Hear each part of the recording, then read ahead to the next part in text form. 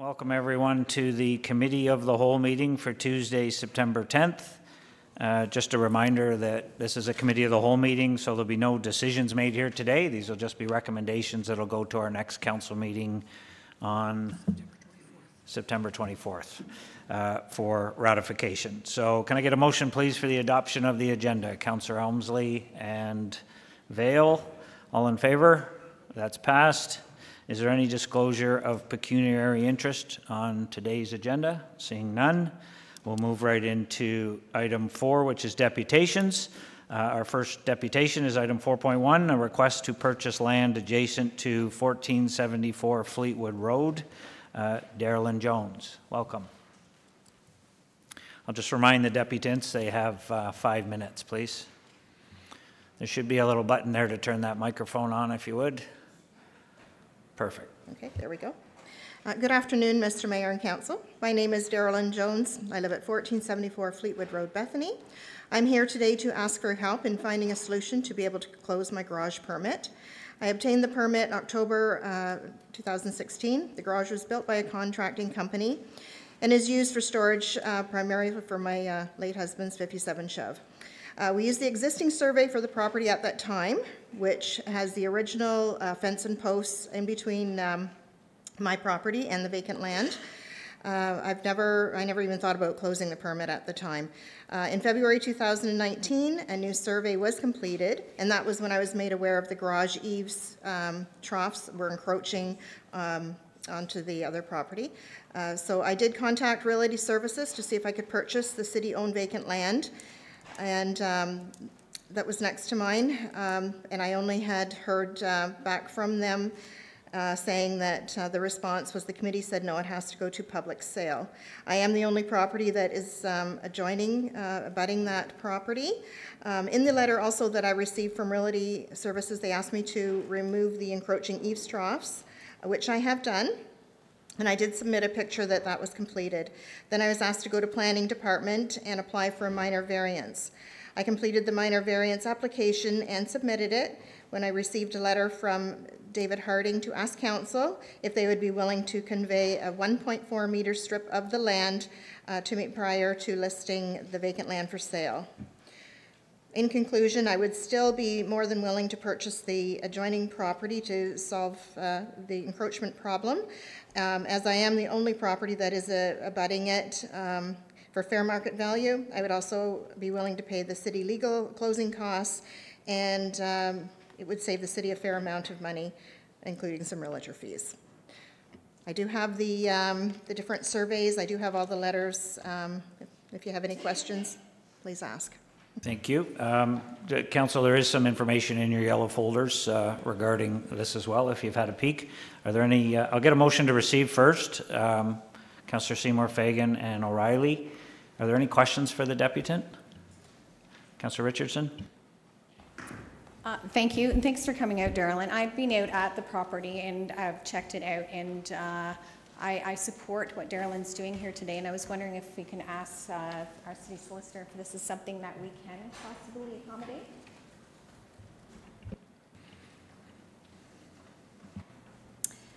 Uh, Yes, thank you. The, um, the city disposition bylaw, the default is for an open market sale, uh, but with a council resolution, we can do a direct sale for appraised cost plus all costs of the transfer, uh, which the deputant mentioned. So there's a, a staff fee, uh, reference, uh, sorry, survey fee, appraisal fee. And so that is something that um, Land Management Committee has entertained in the past with, um, you might recall, a property on Logie Street, as well as two properties on Elgin. For consistency, because council at that time said, notwithstanding uh, the interests of uh, identified parties in the property, that the highest uh, value would be best for the city, and thus we should do um, open market sale based on consistency, uh, land management suggested that we should do open market, but we definitely can do with council resolution a direct sale. Thank you. Good? Okay, Councillor Elmslie? Thank you, Mr. Mayor. Through you to the deputy. Uh, you said something about conveying a 1.5 meter strip. That was the suggestion from David Hardy And to would- satisfy. Would, would that solve your immediate problem? It would solve the immediate. And if we conveyed the 1.5 meter strip and then put the property up for sale on the open market, you wouldn't have a problem with that? That would be your call. Then I I'd still have you to go after it, but I'm just trying, you know, it would just resolve things, plus it would save the city some money as well, because I'm willing to pay for the extra costs. Thank you. I think by having a conversation with the deputant, uh, she's willing to pay the one, sever off the 1.4 meter, but is willing to buy the whole lot on a direct sale. If it goes to market, there's no guarantee she's going to get it when it goes to bid. So by paying the closing costs and the market value, we're, we can certainly give a direct sale, sell the whole lot, and, and it's, it's looked after. So I think it's, it's a, it's easier for the city, it's cheaper for the city, and it gives the deputant what she's looking for. It's just, you're giving her the whole lot on a direct sale as opposed to going to open market. So that's really what the issue is. Thank you. I, my reasoning was that if we solved the immediate problem, then we could still go to the open market. Uh, Ms. Jones still has the option to purchase it on the open market, but her immediately, her immediate problem is resolved. And that was my only rationale. And it was a good one. Um, Are there any other questions for the deputant? We've got a motion to receive. Counselor Yeo? Or for staff, yeah, just regarding the, because we don't have a report on the agenda, so. Um, yeah, um, through you to staff, has there been interest from other parties about this piece of property that you know of? Not that I'm aware of, but we haven't advertised it for sale. Okay, so we have a motion to receive. All in favor? That's passed. Is there a follow-up motion? Counselor Richardson, did you want to put a follow-up or? No? Okay. Any follow-up motion? Counselor Elmslie? Direction for staff? Uh, That this come to the council meeting of... uh, September 24th. September Yep. 24th for consideration. Yeah. That what come forward? The motion to receive? Uh, The motion to receive and the motion... We have the motion to receive, that's passed. So I'm Okay. wondering if there's a follow-up motion. The follow-up motion would be for considera, uh, for consideration of sale to Ms. Jones. A direct sale of the whole Direct lot? sale, yeah. Uh, That staff be directed to proceed with a direct sale to Ms. Jones Yes, for the abutting parcel. yes. Okay, seconder? Counselor Yeo? Do you want to speak to it, Counselor Elmslie? Counselor Yeo? Question? Sorry, Counselor Dunn, question? Right, that button, there we go, yeah. Um, I'm just afraid we're setting precedents again. Uh, We have a, we have a policy, I have absolutely no issue whatsoever with the 1.4 meters. Uh, It solves the immediate problem, and uh, I think uh, we've established a policy that we, we put our property, I, I don't even know how big this lot is. I don't know whether it's a full building lot, I, like, I know nothing about the lot. Uh, I don't know whether it's in a good position, a bad position, um, so uh, I have no issue at all with, with conveying the 1.4 meters and, and solving the problem. Um, I think that's a good idea. Uh, Selling the lot uh, by, uh, by private sale um, and not having the public involved doesn't work for me, and I've got to speak against the motion the way it's worded. Thank you. Counselor Riley? Uh, Thanks, Mr. Mayor. I think uh, what's said is, I think there has been a couple precedents set. I think we're going to get market value for the lot. You brought, you said you brought a check for, uh, for the survey. I mean, did you bring a check for the lot too today, Joe, or anything? Yeah. Uh, I could manage Oh, that. okay, well, maybe, maybe bring that next time. Absolutely. Okay, um, anyway, so I think with, if we get an, uh, we get an appraisal on it, as I think it, uh, our solicitor said before, that's the process. So I think that'll, that'll establish the price, so there's, there won't, shouldn't be any complaints. Thank you. Counselor Richardson? I just want to follow up saying that I know Darylyn's here today looking for resolutions, so whatever way we can make it work for her and her benefit, I would like to go that way. Well, one of the ways we can make that work is a direct sale of the entire lot. She's willing to do that at market value, so that's the motion Counselor Helmsley's put forward. So are there any further comments on the motion? Uh, I'll support the motion as well. I think it, it gets us where we need to be. Um, Call the question. All in favor? That's passed. Thank you. Okay, thank you for your deputation, I appreciate it. That'll be a recommendation to go to September 24th at council, and we'll see what happens. Thanks. Uh, Item 4.2 is a deputation regarding dock spaces in Thurstonia from Andrew Girdler. Uh, Welcome, sir. You were on a schedule to do a deputation previously, but never showed up. Yes, I want to apologize for that. Uh, I was at Ross Memorial with my daughter. Uh, She ended up with shingles at the age of nine, so uh, uh, didn't know that happened. So uh, I apologize to council for not- not attending last time. Um, Go ahead, thank you. Yes, uh, good afternoon, Mr. Mayor and esteemed council members. Um, uh, I hope you all have the uh, handout of an article written by Mary Riley uh, from Kawartha Lakes this week, dated April 11th, uh, 2019. It is our hope that you will read uh, this at your leisure to refresh your memories of uh, regarding our situation. Um, My name is Andrew Girdler. I've come before you today to plead my case uh, with the hope of persuading you to make an exception to the recent changes to the rules regarding dock allocation in the township of Greenhurst, Thurstonia. Um, Initially, I was going to read an itemized list of the reasons why we should have a dock near our home, but I changed my mind on that. Uh, For the last 10 years, my wife, myself, my wife Barb, and my daughter Erica have been fighting to improve our credit and save money uh, with the goal of someday owning our own home.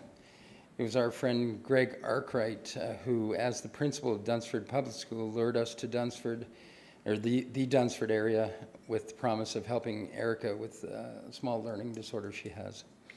Uh, we moved to Dunsford in 2017, and I was told by the city of Kawartha Lakes that there were five dock spaces available, but I had to be a, a homeowner in the village before I could apply for one. Around the same time, uh, we ran into Ron Ashmore, who knocked on our door to introduce himself as a candidate for city, or sorry, town council. Uh, his genuine interest in our situation was very evident, and he uh, continues to champion our cause to this very day. Um, with the passing of my father, Eric, and uh, just recently my mother, Janet, we were able to uh, use our inheritance uh, for down payment on a home. On August 28th, uh, 2018, we bought a 1930s era cottage on First Street in Dunsford, uh, which is a mere four doors up from beautiful Lake Sturgeon, uh, beautiful Sturgeon Lake. Um, although homes in, uh, on the lakefront were not in our budget, we, our new home does have a beautiful view of the lake. We also hope to, to be able to relax, on, excuse me, on our own dock and be able to watch our children and our grandchildren uh, enjoy the lake. As a new homeowner, I phoned the city of Kawartha Lakes to ask about the availability of dock spaces and was told that all the dock spaces had been absorbed by the city to be turned into public access and that I could not apply for a lease at all. Um, we could simply not believe what we were hearing. In less than a year, uh, city bylaws had completely reversed and, excuse me again, we struggled to make sense of their logic, but more importantly, we couldn't believe our bad luck. Uh, It is our hope that our presence here today will show you that we are uh, good, honest people and that we have finally reached uh, our goal of owning our own home. And now we look to you to help us uh, complete our dream by making an exception to these new bylaws and voting to allow us to lease a dock space near our new home on First Street in the village of Greenhurst, Thurstonia. Thank you very much. Thank you, Mr. Girdler. We'll see if there's any questions. We'll get a motion to receive, please. Councillor Seymour Fagan and Councillor Dunn, are there any questions for the deputant? Councillor O'Reilly? Thank, thank you very much. Are you looking to get on the list, or are you looking to actually get a dock? Uh, I tried to get on a list uh, uh, right after we bought our home, and uh, they said they were not taking any more applicants, and just not. Uh, we, I've tried to be on the list since we, we, we actually rented it a year before we owned a home there, and I was trying to get on a list then, and they, I just kept, be, was kept being told not that I could not be on a list. You had to be a homeowner. Yeah. That's correct. Okay, m- maybe to, to Craig, if you're a solicitor, um, Would you care to elaborate on what are, uh, what are perhaps What's- some options? What's the process for somebody to apply for a dock Yeah, yeah. space? What's our current process? So uh, Realty Services received uh, a lot of requests from individuals that currently don't have docks, looking to get on a list or to be considered for a dock space.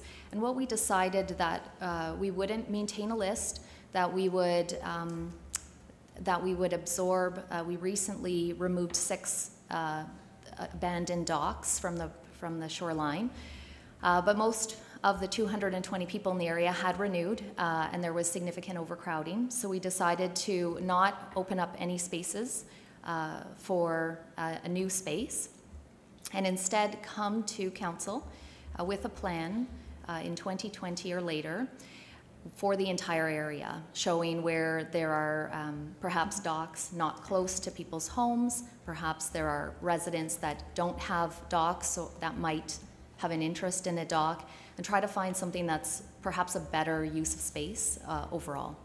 And so what we've been saying to everyone who approaches us is there's no list, we'll be bringing something forward uh, to council um, in 2020. Yeah, thank you. Councillor Ashmore, you had a question? Thank you. Uh, Mr. Mayor, through you to the deputy, and thanks for coming today, Andrew, and, and your family. Um, just through you to, um, to uh, city solicitor. Um, so right now, there's approximately 20 to 25 vacant lots left, uh, and that's along the waterfront. There's that haven't been spoken for, or they've been either abandoned or or not uh, renewed their lease. Is that what would be the number right now, please?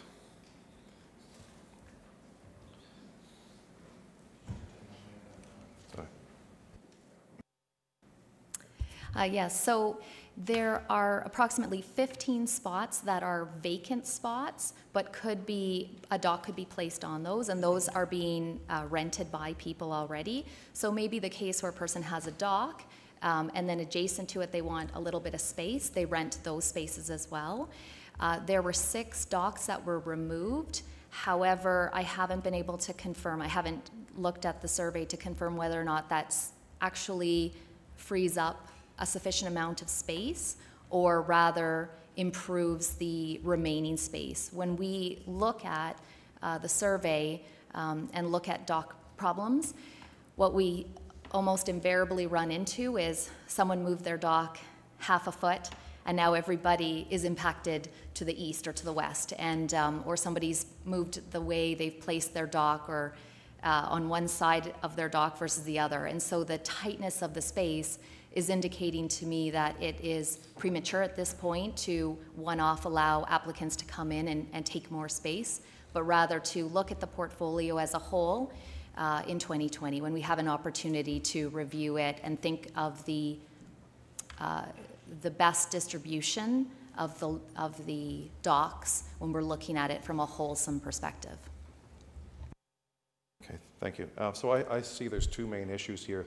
So we've got um, people that want to get on a list, a queue, if you help, if you will, a list, like basically first come, first serve, you're on a list, and you're waiting in line to acquire a dock.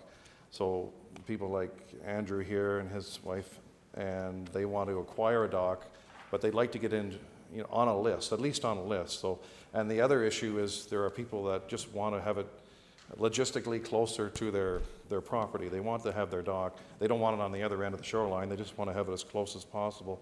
Just one final question uh, to Solicitor. Is there any way we could even just start, a- have a list of just of the people who are expressing interest, like just be on a list? uh, You know, to in the future, I don't know when the future is going to be, like how quickly we can, they can acquire a dock, but that's all they're asking for is, is a list. And the ones that are requesting, there's, I've got at least a half a dozen that are requesting uh, docks that are closer to them. Is that possibility before the end of the year?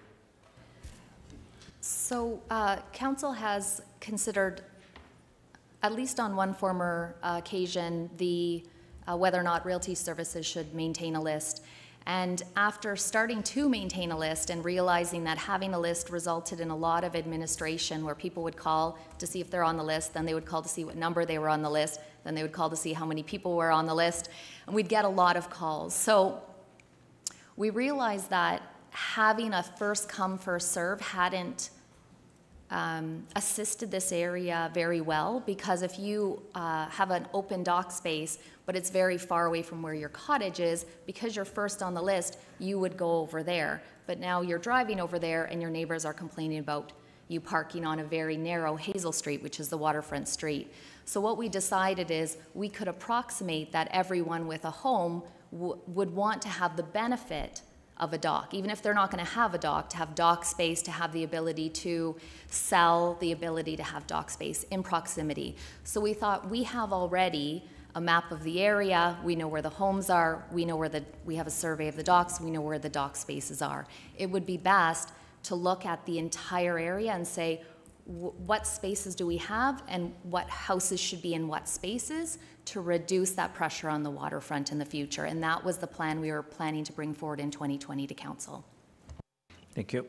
One final comment, please, and question. So um, what I think the people are more concerned about is if there's like 20 docks left, there could be a possibility of like 20 mini parks along. So 20 spaces plus the two or three public docks that there are. So there'd be the possibility of like 20, I call them mini parkettes or mini docks, which are public spaces. So you'd have a lot of parking and public coming there, just so many different public spaces. Would it, would that not evolve into that? If, if all those 20 spaces are going to be public docks and you're going to have, they're all going to be public access points, right? 20 different ones?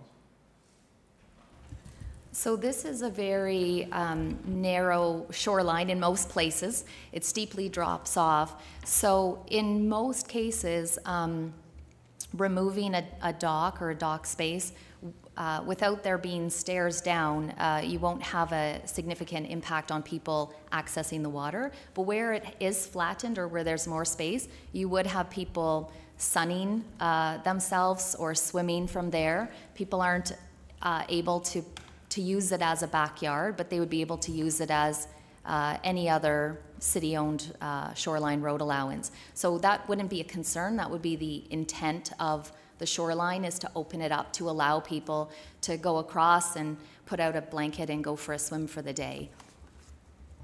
Thank you. Okay, we have a motion to receive. Are there any further questions? Call the question. All in favor? That's passed. Thank you. Thank you for coming today. Appreciate hearing your concerns. Um, Just, just so you know, at this time, a motion to receive by council means no further action is taken. So council's choosing at this point to let the solicitor roll out her plan for next year. So I would say keep in touch with Councillor Ashmore, and I'm sure he'll, uh, he'll let you know when it's time to, uh, to bring that forward again. Thanks for coming today. Appreciate it. Uh, We'll move down to item 4.3, which is an encroachment license agreement, the use of city-owned land adjacent adjacent to Stanley Road in Woodville. Uh, Kevin Waldock, welcome, sir. All right, just put the mic, you got it. There we go. Sorry, I just got to get set up here. Um, Hey, thanks for having me today, Honorable Mayor and Council. Um, Thanks for hearing, hearing us out on this uh, deputation. So I, I guess um, before I start, I just got to say that it's, it's a strange situation because of the previous ownership of her house is the complainant as well as her sisters on the other side. So just kind of keep that in mind as I kind of speak here. So I'm here today to making a deputation in order to be able to encroach on city lands with our garden shed and our kids' playset. Um, um, we've lived in our house for four years, and our shed and our background, uh, back, our, our shed and our playground have always been been there. Um, at the time of purchase, I mean, I didn't even know what a concession allowance was, let alone be able to kind of see what that meant for our backyard and stuff like that. Um, we were definitely misled a little bit by uh, by by realtors and different things about where where the backyard line is. And when we put up our, our simple garden shed, like it's, it's eight by 10, um, we put it in line with the garden shed that was, um, that was at 127.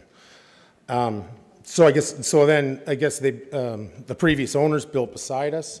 Um, and, and so for, I guess for the last two years, um, it's just been a constant bombardment of bylaw officers coming, probably a dozen times complaining about the shed and, and different things in our backyard. And I handed to bylaw. The bylaw officers of Kawartha Lakes are nothing but excellent. Uh, we've had great dealings with them. And in late 2018, they led us to the bylaw that, that um, that you can get a license agreement to encroach on the city lands, and that would take care of our problem. Um, So we applied for the encroachment, and, uh, and uh, we were approved in late 29, eh, early 2019. Um, And then in April 2019, we were emailed saying that the uh, encroachment was revoked. Um, So I guess if you guys could just look quickly, oh, I guess that's a, that's a good, good uh, map that's up there right now, but I guess figure one that I've pictured, that was sent to me from the city in the, in the agreement. Um, You can see the concession allowance runs, runs directly across all the backyards at Stanley Road. Um, um, If you look at our figure one in your yellow folder, uh, where we're encroaching is on city concession allowance within the red square there. And, um, and uh, so when we follow the concession allow- allowance along Stanley Road there, with all the other, all my other neighbors, there's sheds, there's, um, sorry, there's, there's fences, there's decks, there's sheds, there's bunkies all built on this concession allowance. And uh, generally, it's completely cutting off access to that concession allowance. Um, um, Our encroachments on the city property are very minor compared to a lot of our neighbors. And I, I feel like it's just kind of, it's, it's silly not to be able to encroach it. There's also numerous docks as well. Um, If you look at uh, one of the pictures I've attached on the last page in your yellow folder, looking directly along the concession allowance, you can see, as you look along, there's a, there's a shed to the left, that's on the concession allowance. There's, in the, in the background, there's a fence. So that is the, what we're talking about here. That's the concession allowance that people want to access, and that's, um, the other pictures attached are kind of over, overshots of our backyard. You can see there's no, there's no fences, there's nothing to, to, to stop anybody from walking through and back there. Uh, nor have we ever stopped anyone from access to the park lot or the concession allowance in our four years there. And that's just not something we've ever ran into and we've never done, or would we? Um, You know, we're good stewards of the land back there. We remove leaves in the fall. We've never cut down any trees. Um, When, you know, looking through the backyard, there's evidence that this backyard has been cleared in the past by the previous owners because there's no shrubbery, there's no bush back there, just like if you compare it to where the park lot is there. Um, uh, I guess another thing I should note is, you know, we've been, we, we were having trouble getting Kawartha Lakes named on our insurance. Um, But we've been told that we're, we're, the shed and the playset is, is, is, um, is under my home insurance under outbuildings, the outbuilding clause. And, um, and I'm, I'm still currently working with, well, at the time before our encroachment got revoked, we were working with the city to try and figure out how to get the city named on our, on the, on the agreement. If I could just speak quickly about our dock, I didn't really notice that before I saw the submissions to council from the next, um, sorry, from the next deputation, that, that the dock and all that stuff was included. So, so, um, so our dock, so I guess we've pulled the deeds from the, we've pulled the deeds from public record of the parkland lot that kind of is kind of near where our dock is. And uh, we found that there's no listed specific water access. Um, The city, the city through Realty Services, uh, through our encroachment, um, told us that our dock isn't actually on city-owned lands. Um, And so I don't know why it's an issue to be talked about here. Um, You know, and, and, uh, and for us, it's a liability issue for our dock. Like, we can't have unknown, and so that's why there's a no trespassing sign up. We put that up um, on the advice of a lawyer to say that if someone we don't know walks on our dock, slips and injures themselves, then at least we have one foot on the ground to be able to defend ourselves from liability suits and different things like that. I'll just ask you to wrap it up if you can, please. Yeah, sorry. Last question. It's just like, it's like we're, we're a young family. We got three boys. And, you know, having, having a playset out back of the house is not a, crazy, you know, asking for the city and, and a place to put their bikes and stuff like that. But thank you for your time. Thank you. We'll see if there's any questions for you. If you want to sit tight, um, get a motion to receive, please. Councillor Yeo and Seymour Fagan, are there any questions for the deputant? We have another deputant right afterwards uh, who's one of the neighbors, so we should hear. Go ahead, Councillor Yeo. Uh, Question, actually, a question for staff, through you, if I could, uh, Ms. Carlson. Why, um, and I, I was briefly over to have a look to see what this situation was all about. So why would we revoke, uh, we're going into an agreement with these people on encroachment agreement on a road allowance. Why would we step back and say, oh, we don't want to do that anymore? Land Management Committee, when we had first looked at the uh, request for an encroachment agreement, approved it, uh, thinking that it would have minimal impairment on the abilities of the neighbors to walk through the road allowance to the water. Uh, And the um, request was for the backyard encroachments only, not the dock on the, what's called the parkland, which is a a vacant uh, municipally owned property to the left of number 147 on the map. Uh, However, then, as we were going through the process of licensing uh, the property, we got a complaint from one of the neighbors saying it did impact uh, her sight lines to the water uh, and uh, her ability to walk through the concession road. Uh, And she's provided, I believe she's the second deputant here today.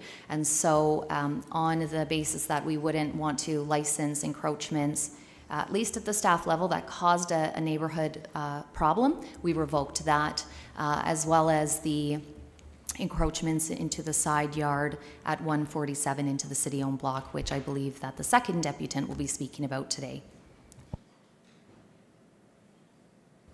So, and, um, so follow-up. So the, um, the lot beside one forty-seven is actually parkland. It's not a road allowance, it's, it's parkland, probably in lieu of cash when it was developed. So that one I could understand the lack of an encroachment agreement. The other one being a road allowance, and given the nature of the entire shoreline, um, basically encroaching on the, uh, the road allowance, I, uh, and a swing set and a- an eight by 10 shed, I don't see the uh, severity in the encroachment. So I guess it brings up a question, like, when you get an encroachment agreement on a piece of property, does it prohibit other people from going on that property? Or is it simply allowing you the use of it, of having a swing set on public land? So it's not, it's not exclusive use, it's not a lease, it just allows you to have your property there and people can walk around. I believe the complaint from the neighbor is when there's a swing set and a, a dock, or sorry, a, a shed there, you, it has the indicia of private and then doesn't welcome people to walk through. So I believe that that was the complaint from the neighbor. Thank you. Councillor Seymour Fagan, did you have a question? That was it? So your property is 129, is that correct? And right behind Yeah, you is the road allowance, and then right behind that is the park Yeah, it's like, designated um, lot, right? Yeah, so you see on the map, so we back onto the concession allowance and slightly on the parkland there. Although where the parkland ends is actually kind of a disputable thing because of, uh, uh, the township of Eldon never bought it in 1964 from, uh, from the M and R when they went around on the one-time sell of people getting that 66 feet from the water. Yeah, But your lot is 129? Yes, yes, sir. Okay. Yes. One, we're 129. Yeah, yeah, sorry. Don't argue with me. 129, thank you. Uh, Any further questions for the deputy? Councillor Riley?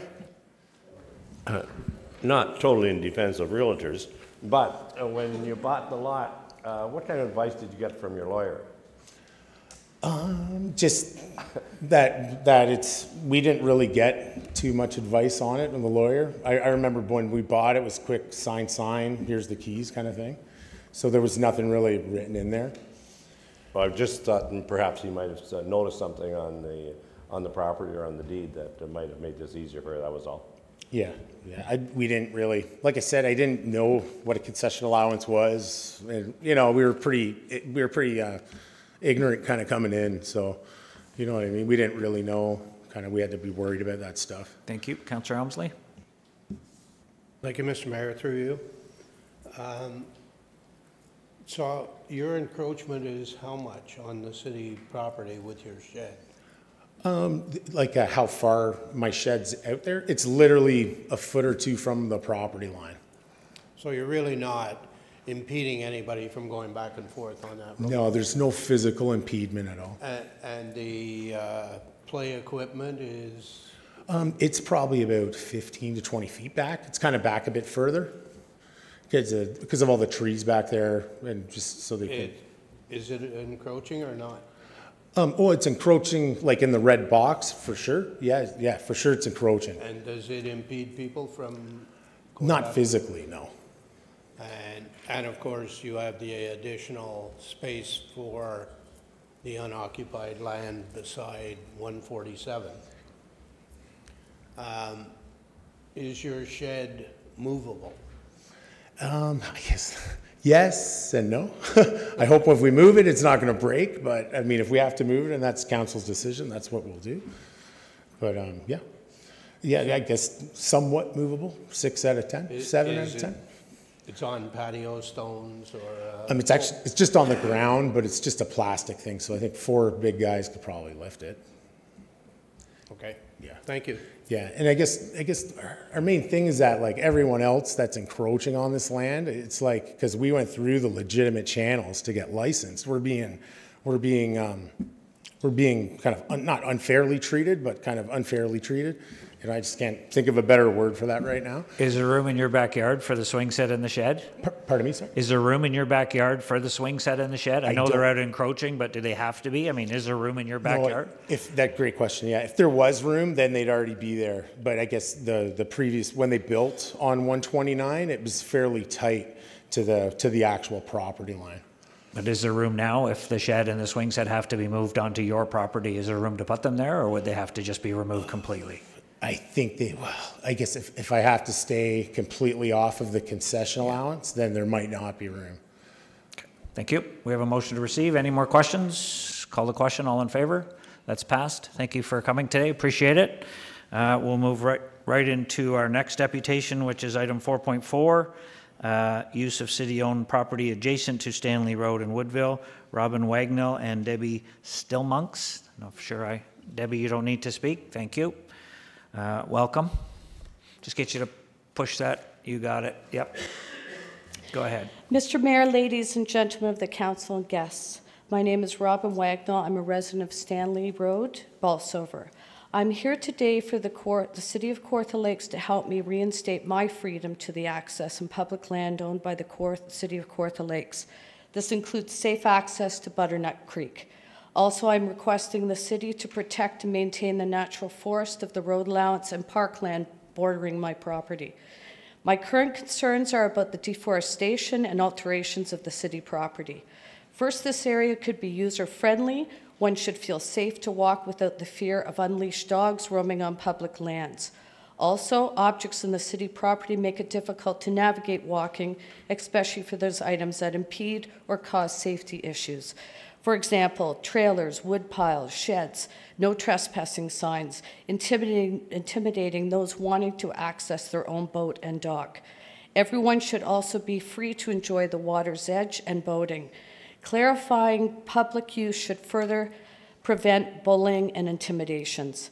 In 2016, I called the City of Kawartha Lakes. I had concerns about a large drum, plastic containers, pails, a trailer, and questionable supplies dumped on the road allowance in front of my property. The city inspector came to look and assess the property. He was quick to notice that there were more problems with items on the road allowance and parkland. Therefore, more city personnel investigated these properties. This led to unexpected reprisal from my neighbors that was unjustified. This also led to my attendance at this meeting today. In the past, damages occurred on the parkland, road allowance, and my property. The first time, a truck was driven on my property as well as a road allowance to the water edge. This caused damage by barging through bush and trampling the land, creating a distinct road. I did not consent to the use of my property for any of these actions. The underbrush and small trees were mowed down. To my distress, a few years later, it happened again. A heavy truck with drilling equipment plowed its way through the road allowance onto my property, cutting down a tree. This was done without my consent. I did not receive any apology for the damage or the loss of the tree. I remained quiet and did not confront the people responsible either time. Why is this damage important to me? For one thing, the forest has not recovered from compressed earth, causing irreparable damage to the root base of the trees. Root damage happens while the trucks barge through the underbrush, passing the trees. Many of these trees along the road allowance path look tired and have a dra- dramatic loss of branches and trees.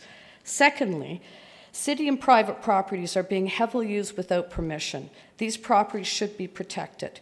This includes ATVs and snowmobiles. Natural restoration could have been made possible without the land repeatedly beaten down. About the water access. 50 years ago, the previous owner of my property built a dock. However, there is no trespassing sign preventing me or anyone else from going on this dock from the road allowance attached to the same property. Since my phone call in 2016, the city has begun to educate all the residents about the park and road allowance. I learned that some bylaws changed during my lengthy time in the community. To reiterate, my hope is that the city staff continues to educate all residents to public use and protection of the park area and protect the environment of the road allowance. The owners of the properties bordering the road allowance in question are mostly second and third generations. Back in the 50s, my father put a garage on the road allowance. Why is this important? In the 70s, my father was informed by the city to move the structure off the city owned property. He tried to buy the property but could not, so he moved the cottage. It seems like history may be repeating itself. The road allowance became a pathway for neighbors and children to freely pass back and forth, socializing with each other. Currently, there is a sign claiming ownership of the water access, alleging Kawartha Lake's approval, another stating no trespassing. I am here to ask why are we no longer free to walk on this path? I have provided attachments to my original submission. Please refer to these for further clarification. I am grateful for your time and look forward to having transparency in any future communication. Thank you. We'll see if there's any questions for you. Um, Motion to receive, please. Councillor Veale and Richardson. Are there any questions for the deputant? So your lot is 131, is that correct? So 131 and the two beside it. Okay. Are there any questions for the deputant? Councillor Yeo? Um, Thank you, and through you to the deputy. Um, How long did you, you're the former owner of 129, am I correct? Can I just get you to put your microphone on again? Yeah. Uh, until 2004, Okay, and um, at that time, what was on the road allowance when you owned the property? nothing. Nothing? Okay. And um, second question, the, um, we're not dealing with the parkland as far as the previous deputation, but your deputation mentions the parkland beside 147.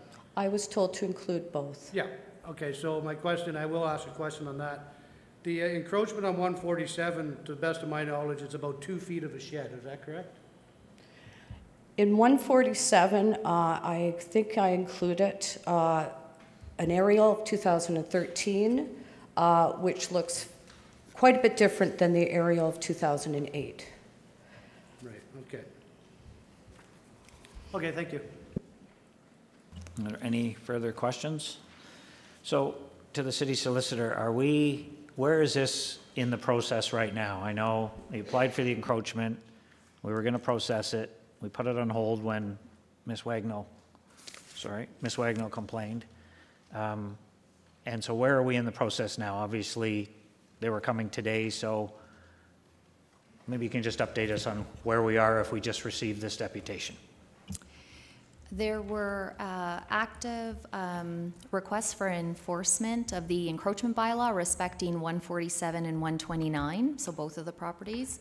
Uh, Those were placed on hold until uh, the owners could make a deputation, uh, and then pending council disposition, then bylaw would continue to follow up with uh, removal uh, of the encroaching structures. Okay, thank you. So we have a motion to receive. All in favor? That's passed. Good. Follow up?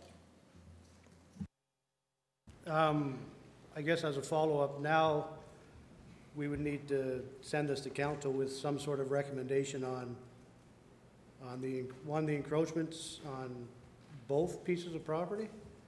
What, 147 and 129, is that what we'd have to do right now? I think if we just receive these, then the enforcement of the encroachments on these vacant, on these road allowances will be enforced by bylaw, but it's been put on hold pending these deputations here today. Is that correct? Yes, and I should clarify that with 147, there were numerous encroachments into the side yard. However, there appeared to be one partial encroach- encroachment of a shed, a permanent shed or garage, that we thought was, uh, would make sense for it to remain.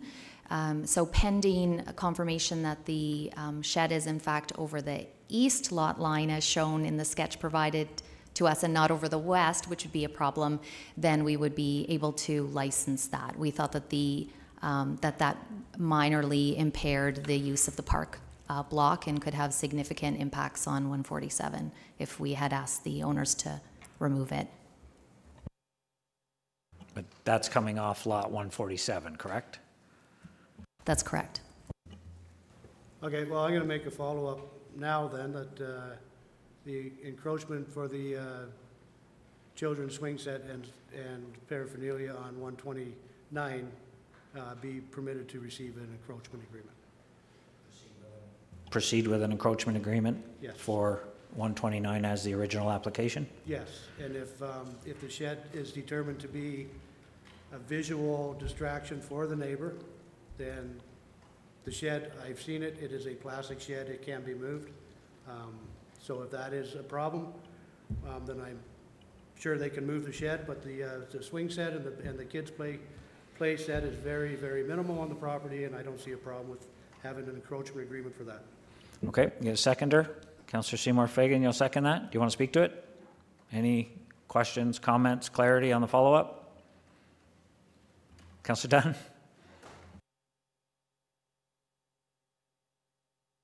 Through you to the uh, Director of um, uh, Community Services. Um, Is that park an active park? Like, do we do any kind of maintenance on it, or is it just parkland that's available to us if we want to have it for parkland? Through you, Mr. Mayor, uh, to the council, no, that is not an active park, and we uh, provide no maintenance to that property at this present time. Ms. Magno, we're good. We're finished with the deputation. We're just dealing with a follow-up. Thank you for coming today. Uh, Thank We're you. just going to have a little discussion here about this follow-up motion. Counselor Elmslie, go ahead. Thank you, Mr. Mayor. Um, To whoever on staff, are there other encroachments on this road allowance besides uh, 129? It appears from the aerial that there are numerous. However, uh, bylaw only received complaints about uh, encroachments in the side yard from 147 and in the backyard at 129. So if we were going to enforce and the, and make people remove stuff from the encroachment, wouldn't it be fair to make everybody remove their stuff from encroachment rather than just one, one uh, individual? Uh, My understanding is that bylaw uh, enforces the bylaw just based on a complaint basis, but that we had been looking at uh, more proactively um, enforcing the encroachment bylaw starting in 2020, which would give um, the public some time to uh, be prepared for the encroachment bylaw. So are you saying that if we enforce this encroachment, if we enforce the removal of the shed and the swing set from the road allowance, that in 2020, we would go back and ask the other neighbors to remove theirs as well? If we had removed uh, this, this sheds and swing sets from 129 and 147, that would end the removals. But in 2020, Realty Services would look at whether it made sense to similarly provide licenses to the neighbors or request that the neighbors remove their uh, docks as well. Counselor Dunn, you had a follow-up? I'm going to, um, I'm going to speak in favor of the motion. Um, This is land that we're not currently using. I like encroachment agreements because we've established that it's our land. We've, we've actually got a formal process in place to establish who actually owns the land. And while we're not using it, I have, uh, I have no issue with the, uh, with somebody else using it. So I'll, I'll speak in favor of the motion. That's interesting. Uh, For those exact reasons, I'll speak against it. Um, I, I I think that, you know, it's a road allowance that is, is used by the community, and if the neighbors can work it out, then I'm all for that, if somebody wants to utilize it, but when there's a disagreement, then I think it has to be one size fits all, and, and, and if that, people feel that that should be used for the, for the community to access that road allowance, then, then I think it should be, should be kept clear until they can come to some kind of an agreement as a community to use it, so I won't be, I won't be supporting, uh, the motion. Are there any further comments? I'll ask Councillor Yeo to sum up. Go ahead, sir. Thank you, and uh, through you, I, uh, I know the point you're making. Um, This, uh, to me, is a little bit different than just a road allowance because there is a separate parcel beside it that is parkland. It's two distinct parcels of land, they're both public, they're both accessible, and we're talking about a swing set on a great big piece of public property. And uh, for that reason, the encroachment agreements in this case make sense. And if we open that can of worms, there's gonna be a lot of unhappy people in this neighborhood, and I don't want to be the counselor when that happens. Thank you. That's a pretty honest sum up, isn't it?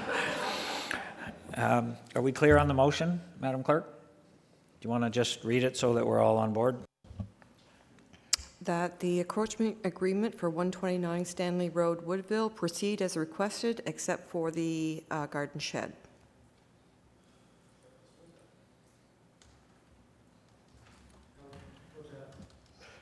Except for the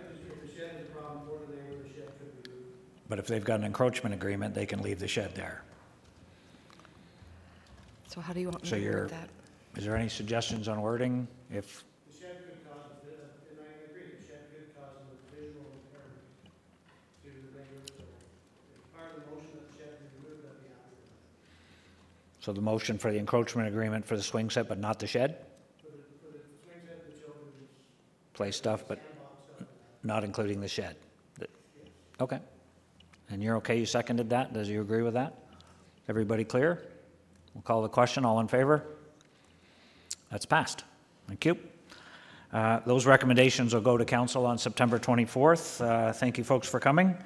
Uh, We're going to move right into our presentations, which is item 5.1, uh, which is a presentation from our Fire Chief, Mark Pankhurst, uh, regarding the uh, 2019 flood update. Welcome, sir. Just give us a second to pull it up here.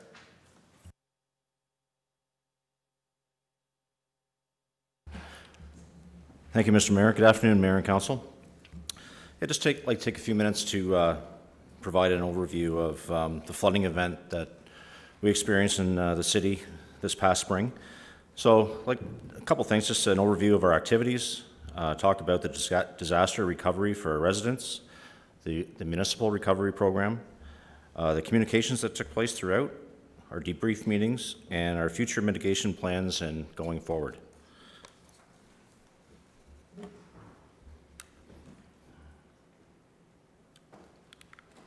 Okay, so some of this is going to piggyback on uh, the presentation that Kawartha Conservation did, but just uh, a couple points or, or major highlights here.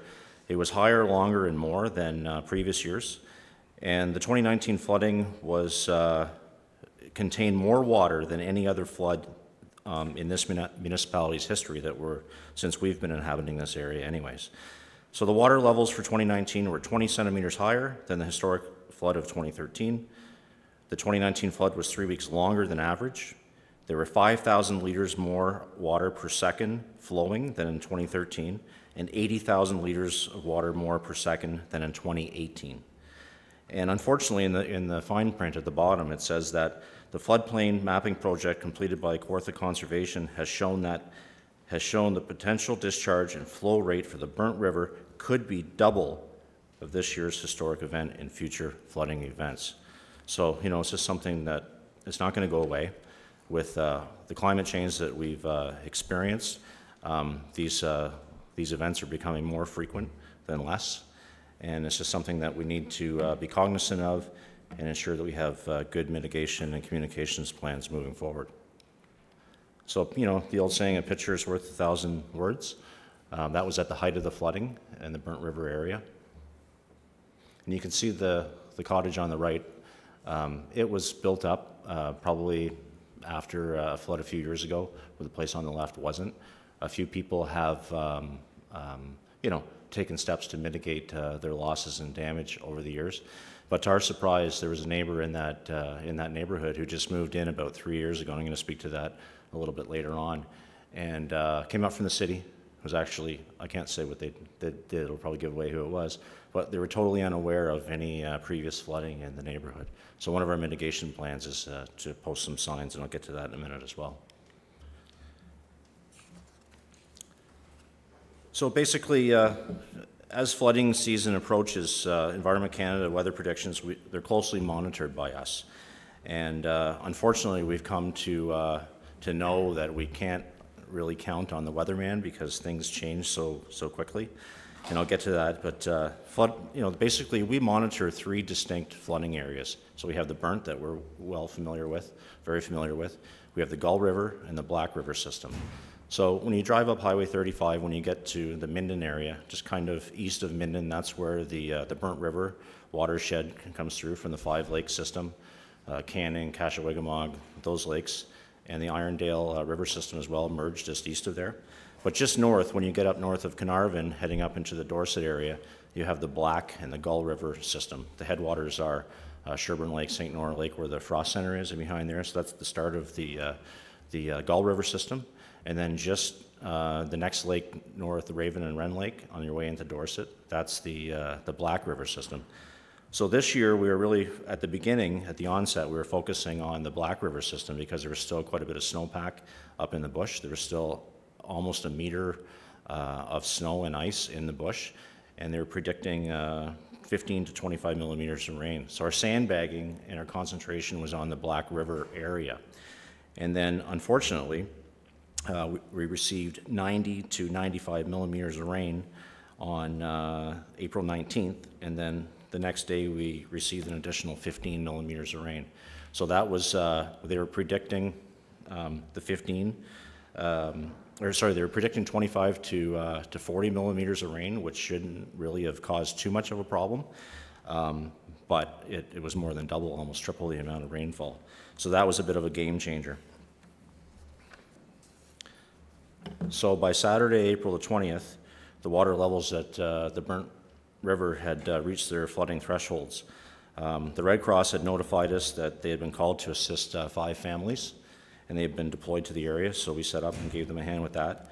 And several roads uh, were closed by Saturday evening in the Burnt River area. So on the 21st, Public Works began sandbagging operations at the Bur- Burnt River uh, Works Yard, and uh, eight people from the Cedar Plank Road, they required assistance to be evacuated from their homes as water levels continued to rise and road access was cut off. So we were called um, to respond to Crooked Court and Basswood Road to assist residents. Um, approximately 1,600 sandbags were filled at the Burnt River Depot through the day, and an inventory of 1,000 sandbags was maintained throughout the flood. And uh, the water levels appeared to crest by uh, 8 o'clock uh, that evening on April 21st.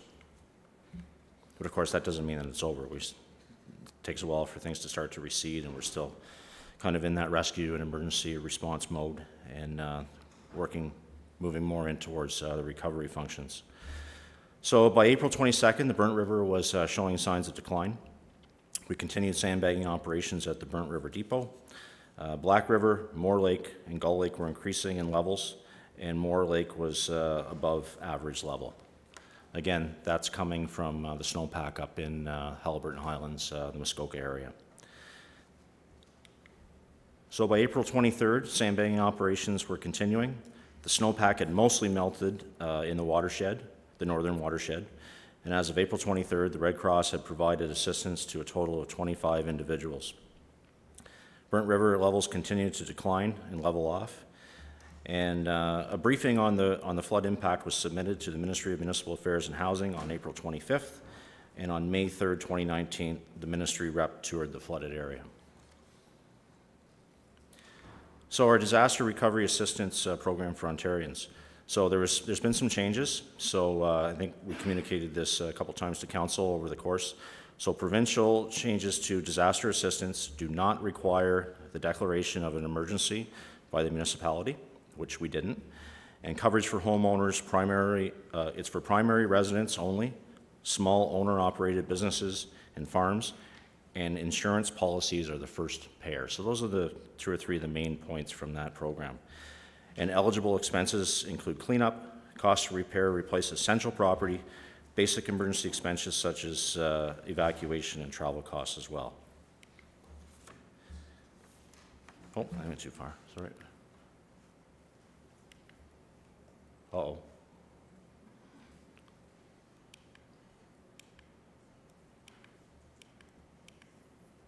Okay, back on track here. So the municipal disaster recovery, the municipal disaster recovery assistance program. So that's for our municipalities. So we sat in, Craig sat in on it as well too, or Director Shanks, on a conference call. So it's uh, provincial assistance to help municipalities that have incurred extraordinary costs because of a natural disaster. Uh, the City of Kawartha Lakes did not meet the provincial threshold threshold this year for municipal funding. So communications. Communications has always been uh, the key to uh, our success as a municipality with, with uh, helping us through and guiding us through uh, with our residents, um, what we're doing and next steps, and just to keep everybody informed in real time or very timely um, uh, method of, uh, of most importantly keeping our residents informed of what's happening and what we're doing for them. So before, during, and after the flood, information was distributed in tax inserts. On, uh, it was also on the city website. It was on Twitter. It was on Facebook. It was on Ping Street. And it was also on roadside signs. I think on um, most major intersections or crossroads uh, in the flood areas, there was uh, the billboard signs. And uh, all of that uh, appeared to be very effective. And also, uh, we took uh, the mayor um, with us with communications and senior fire staff to tour the, the affected area. And uh, um, a film was, uh, or a, a video was filmed with the mayor at the Cedar Plank area. And there were over 15,000 views in two weeks of the mayor's flood video. And all the comments that we received back were all very positive on that. So kudos to our communication, communication staff. They did a great job as usual for us. So over that time, or just post-flood, we had uh, a number of debrief meetings. So we had a flood debrief meeting. Uh, One was held with uh, the mayor and ward councilors, and then we had a second one with uh, city staff. So several items were discussed and will be implemented as part of the future flood mitigation strategy. There we go. Oh. I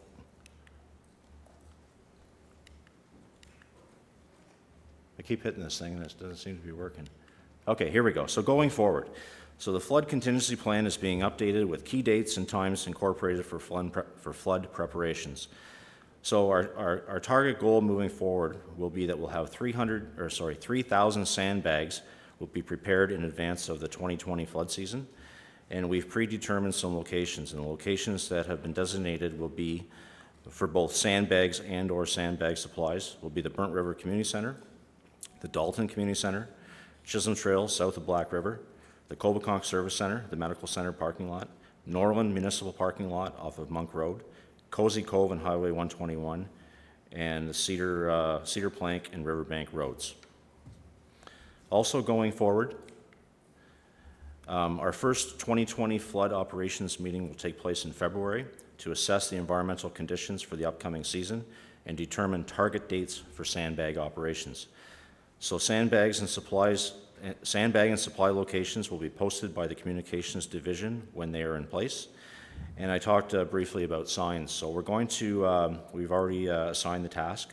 Um, New signs will be erected to notify people that they are entering into a floodplain and directing them to the city website for information. So some of the key locations will be on 121 north of Fenland, um, and so uh, as an example. So we're hoping to have a, you know uh, a good sized sign that says you are entering into a floodplain area, and a, a direct link to the city website. So any you know prospective buyers uh, and um, in the area, so we can avoid what we we uh, we encountered this year with a new resident being unaware. Um, You know, we're probably going to get some pushback from, from uh, maybe uh, the real estate uh, community, but I think we need to be open and transparent to uh, any future residents and visitors that they are entering into a a floodplain. um, I, I think it's just the right thing to do. Uh, Also, Human Services is developing a standard operating procedure to include uh, evacuation processes as well. Uh, We do have a really good, our Human Services uh, and Emergency Services have a really good working relationship with the Red Cross, and uh, that always pays huge dividends uh, when we have these types of events. So in closing, uh, big thank you. Thank you to uh, fire services staff who worked uh, tirelessly on, uh, you know, emergency response, filling sandbags, and again, to our communications team. Uh, Without them, we wouldn't be as successful in what we do in delivering these services for sure without that support. Of course, the OPP, the Kawartha Lakes Police Service, they have a, a, a less of a role, but again, it's uh, dispatching multiple calls as well as all the other important stuff that they do over there. Red Cross, Brian's Group, Public Works, Human Services, Kawartha Conservation Authority, Ministry of uh, Natural Resources, Trent Severn Waterway, and everyone else who spent many hours working during the flood event. It was a very collaborative team effort throughout the flood event, and thank you uh, once again. Thanks, Chief. We'll see if there's any questions for you. Get a motion to receive, please. Councillor Elmslie and Yeo. Councillor Elmslie, you have a question? Thank you, Mr. Mayor. Yeah, probably a couple. Uh, Chief, I'm not going to go over past history of, of this event, but going forward, um, is there any thought given, we used to drop sand and empty bags on some of the roads, one of them being the moorings, where, and the people would fill them themselves. And this speaks to the volunteer component, because I did get many calls where people wanted to come and help, and we basically turned them away. So I'm wondering if uh, we're considering something along those lines. Yes, uh, through you, Mr. Mayor to Council, that's, uh, we have two of those locations listed. Um, Not the moorings, but I'm sure we can have a further discussion about that. But the two areas that we have identified are Cozy Cove and Highway 121, and the Cedar Plank and River Plank, River Plank areas. Are you dropping sandbags there, or are you Sand- dropping? Sand and bags in those locations. And they'll fill them Yes. themselves? Yeah, it's just, uh, in some of these locations, uh, the people are mm, my age and maybe humping around sandbags full are, are difficult for them. So having them empty and the ability to fill them themselves, I think, uh, is a better plan. Um, I'm glad to see that we're going to have flood meetings starting in February because uh, uh, I don't think there's any percentage in saying, well, let's see if it's going to flood, let's see, because I pretty much guarantee you right now, it will, you know, so uh, I'm happy to see that. Uh, The other thing I wondered about was fire services in the past has, on the bad roads, uh, gone door to door to make sure that people weren't in trouble. Uh, I don't think we did that this time, and I'm wondering if you're thinking of reinstating it, because I really feel it's an extra step and care and concern for uh, our residents, particularly some of our elderly residents. Uh, None at this time, or um, through the mayor to uh, council. Um, We've, we've analyzed that to death. Um, It's, uh, it's a bit of a game changer these days when our folks have to uh, get on their ATVs and uh, the whole standard of personal protective equipment and the limitations in that equip, in that equipment for them being able to function uh, has greatly increased for their own safety. Uh, we just can't do that anymore. Um, you know, we're, we're, we're, that's where we're really counting on the local community and uh, the folks on those streets, you know, to, to help look after their neighbor, neighbor. And I can give you examples, like we were in those streets. Um, I don't know if you, you may or may not recall when we had our debrief meetings, and we were there once and we said, We're here if anybody needs any assistance. If you want to go, come on out.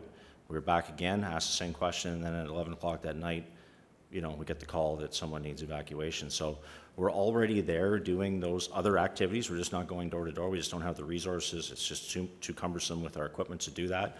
So we're really relying on the community. And again, you know, people know that it floods every year. There's the people that don't know that move into the community.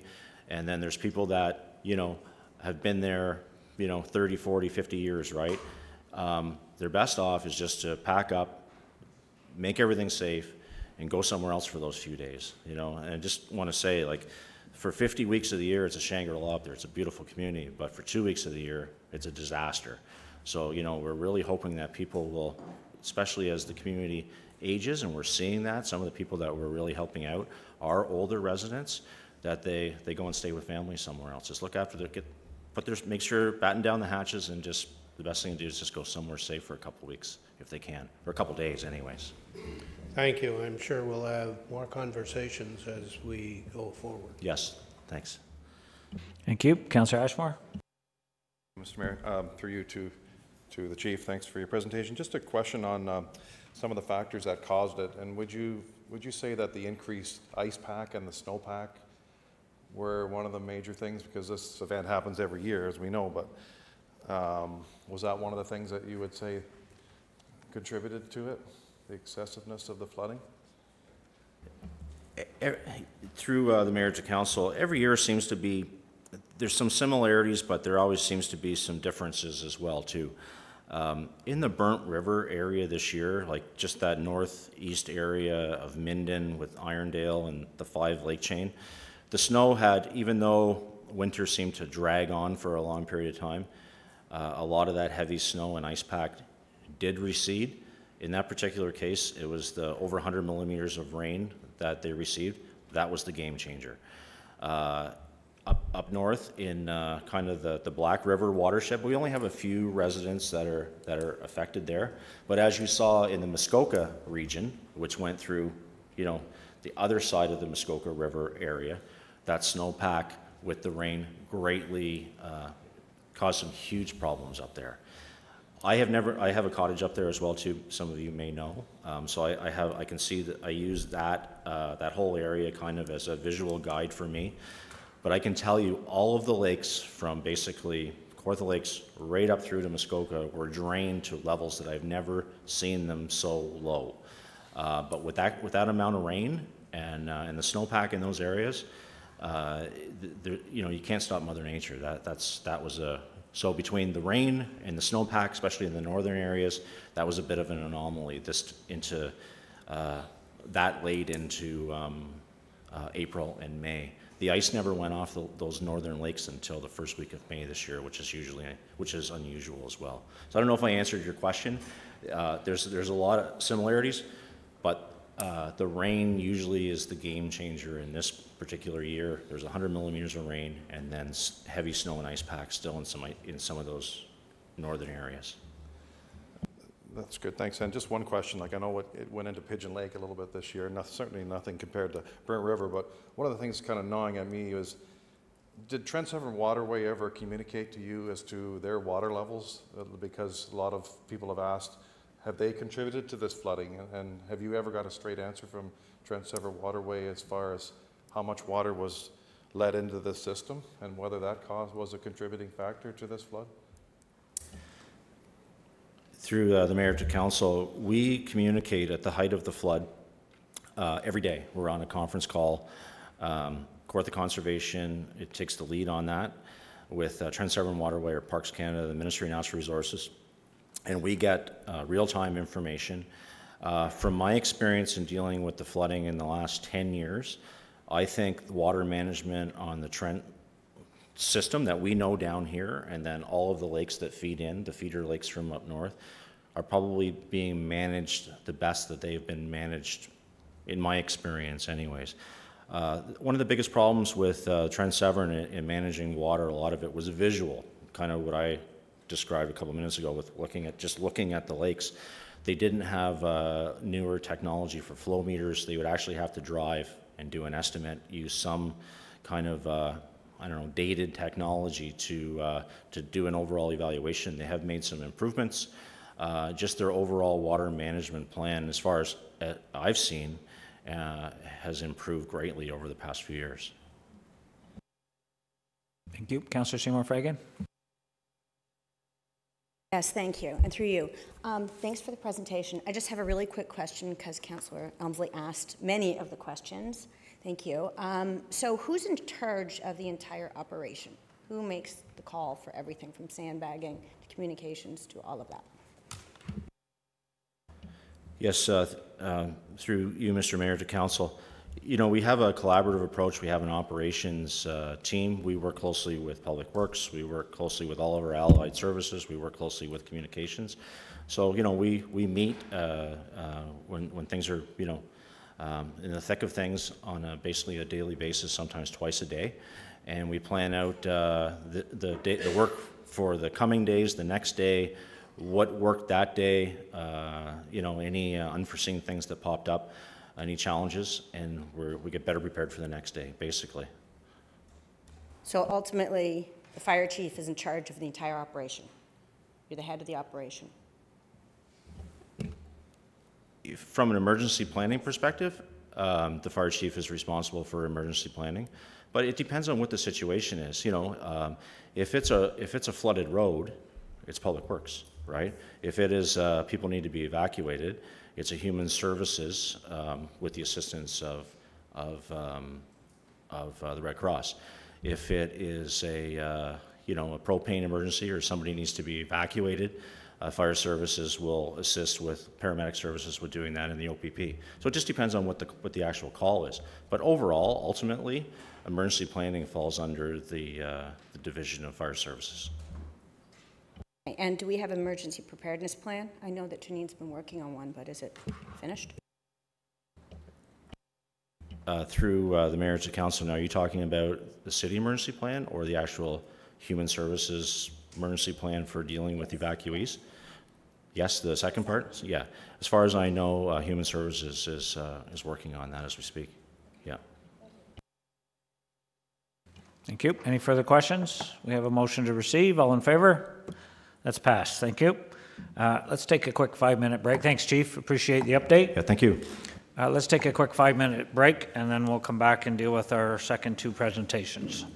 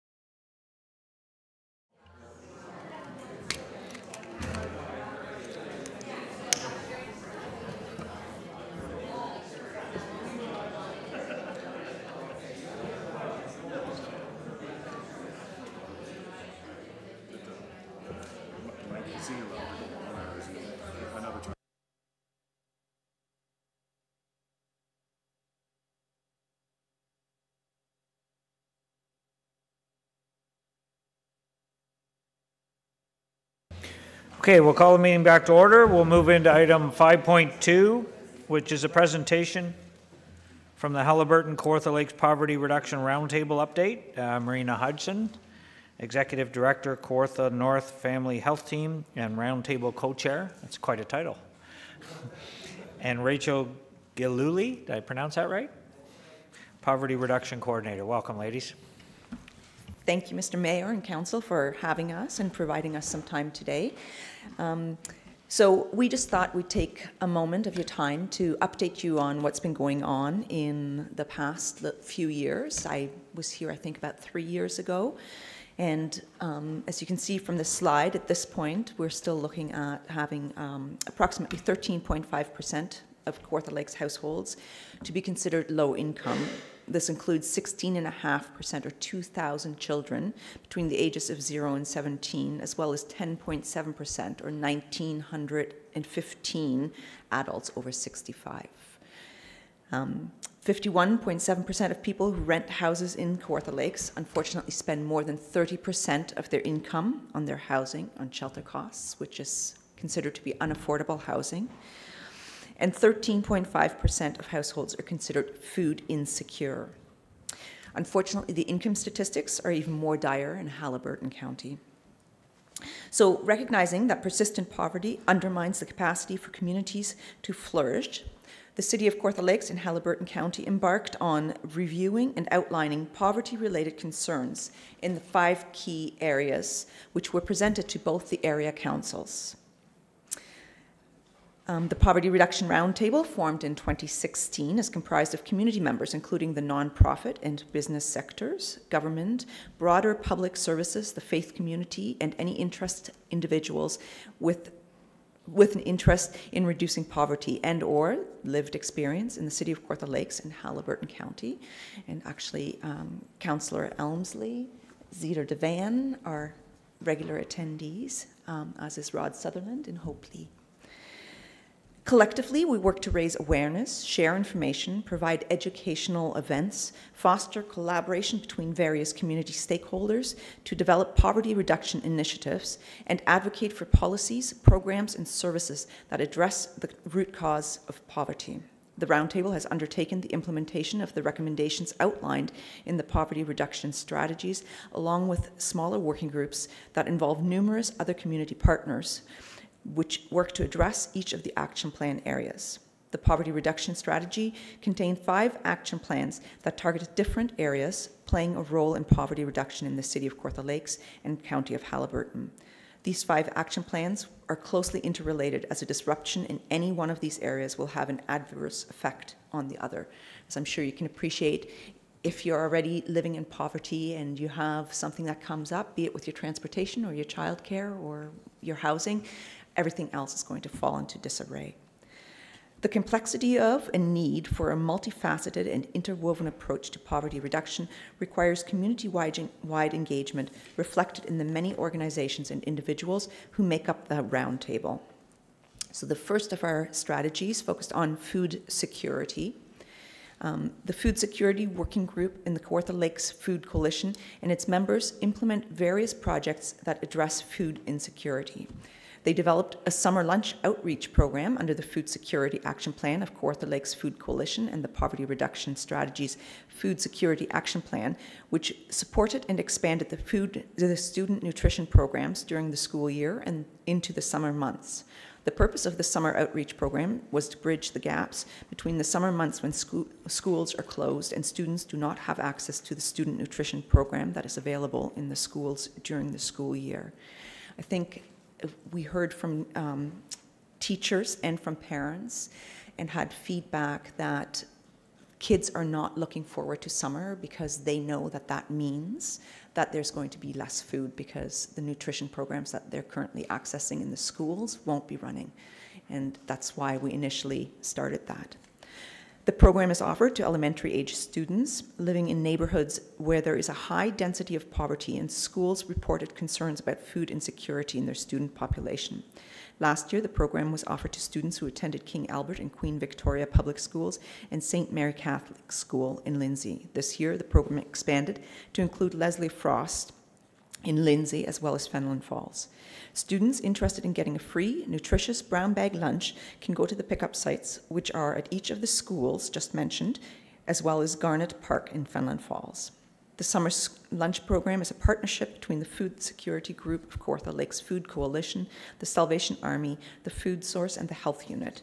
These partners plan, coordinate, and implement the program as well as source and fund source funding for the program. They also recruit many community volunteers who prepare and distribute the lunches.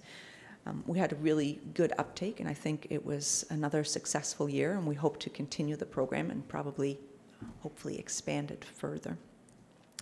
The Food Security Pro Group of Kawartha Lakes Food Coalition has also done a lot of work to advocate the Fed, with the federal and provincial governments to develop policies and programs that take a comprehensive approach to address poverty and food security, including income security.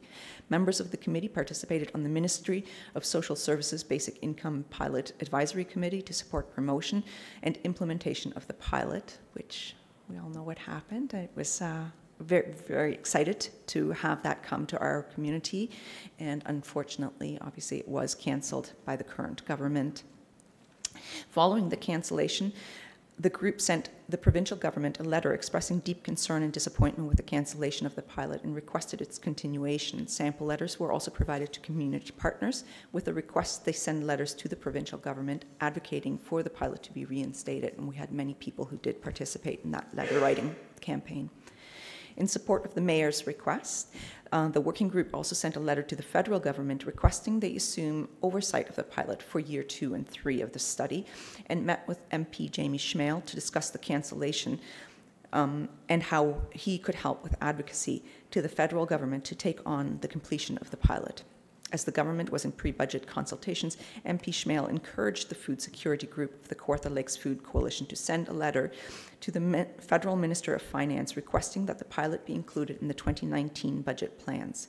Letters were prepared and sent to the federal Minister of Finance, federal Minister of Social Services, and copied to the NDP Conservative Budget critics and Ministry of Social Services critics. Additionally, letters were prepared to the four mayors of pilot sites, including Mayor Letham, with an update on the working group's advocacy and requests that the mayor send a letter to the federal ministers of finance as well.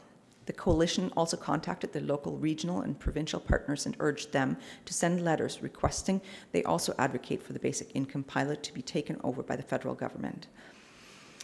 So I'd like to take a moment actually to thank the mayor for the support that he did provide at that time. And whilst we weren't successful, we do acknowledge and appreciate that. So thank you. We'd also like to highlight that food security working work aligns with new food policy and poverty reduction strategies for Canada. And if you thought my title was long, if you noticed some of the titles in that food coalition work, they're much longer than mine. Next was education and employment. Under the objectives of the Employment and Education Poverty Reduction Action Plan to address employment and to reduce poverty, residents um, needed the skills and education to meet the labor force needs. Because we do still find that despite the fact that we say, you know, there's an issue with unemployment or underemployment, there's also an issue, especially in rural communities, with finding skilled workers to meet the needs that employers have, right? Um, residents needed full-time, year-round employment and the supports that enable them to enter and remain in the labor market. It was decided amongst many community partners such as VCSS, VCCS, Human Services, the United Way, Job Quest, early on, the Health Unit in King Albert Public School to pilot a three week program that focused on job readiness skills. It was decided to pilot this program to parents whose children attended King Albert Public School, again, one of the schools that was also mentioned in the food pilot. Um, um, given that it has a high incidence of people receiving social assistance. The United Way took the lead in this project, which focused on the barriers to employment, how to overcome these barriers, and other soft skills training. It also offered the food handlers course and Smart Serve. As these certifications increase, the likelihood of finding work in the food industry, which is often the entry point for many into employment. The pilot was held during the three week period in the summer when children from the catchment area were attending the Ready for Kindergarten program and the summer learning program for children in grades one through three. It was felt this would be a good opportunity for parents to attend the Readiness for Employment program, as many parents would be at the school to drop off and pick up their children for these summer programs, so not creating additional barriers related to childcare. Um, on site childcare was provided free of charge to reduce barriers. The food handlers course was offered free of charge, and SmartServe had a nominal fee, but was but if the person was on OW or ODSP, the cost would be covered throughout that program. Generally, the program was poorly attended, unfortunately, um, except for the food handlers course, which eight people completed. Um, only a few people were interested in the other components of this pilot, and anyone who expressed interest was provided one on one support instead because there wasn't sufficient numbers, unfortunately, to run it. And I think, you know, none of us like to feel like we're being criticized, and I think there was a perception that we're questioning people's ability to look after themselves and their families. And I think, you know, that's a hard thing to admit, right? So, next, with children and youth. The working group recognized the long term effects that poverty can have on children right from the moment of conception. The group's goals revolve around developing opportunities for securing optimal health safe and affordable housing, optimal nutrition and levels of education, access to affordable and convenient transportation, and access for parents to secure employment and childcare.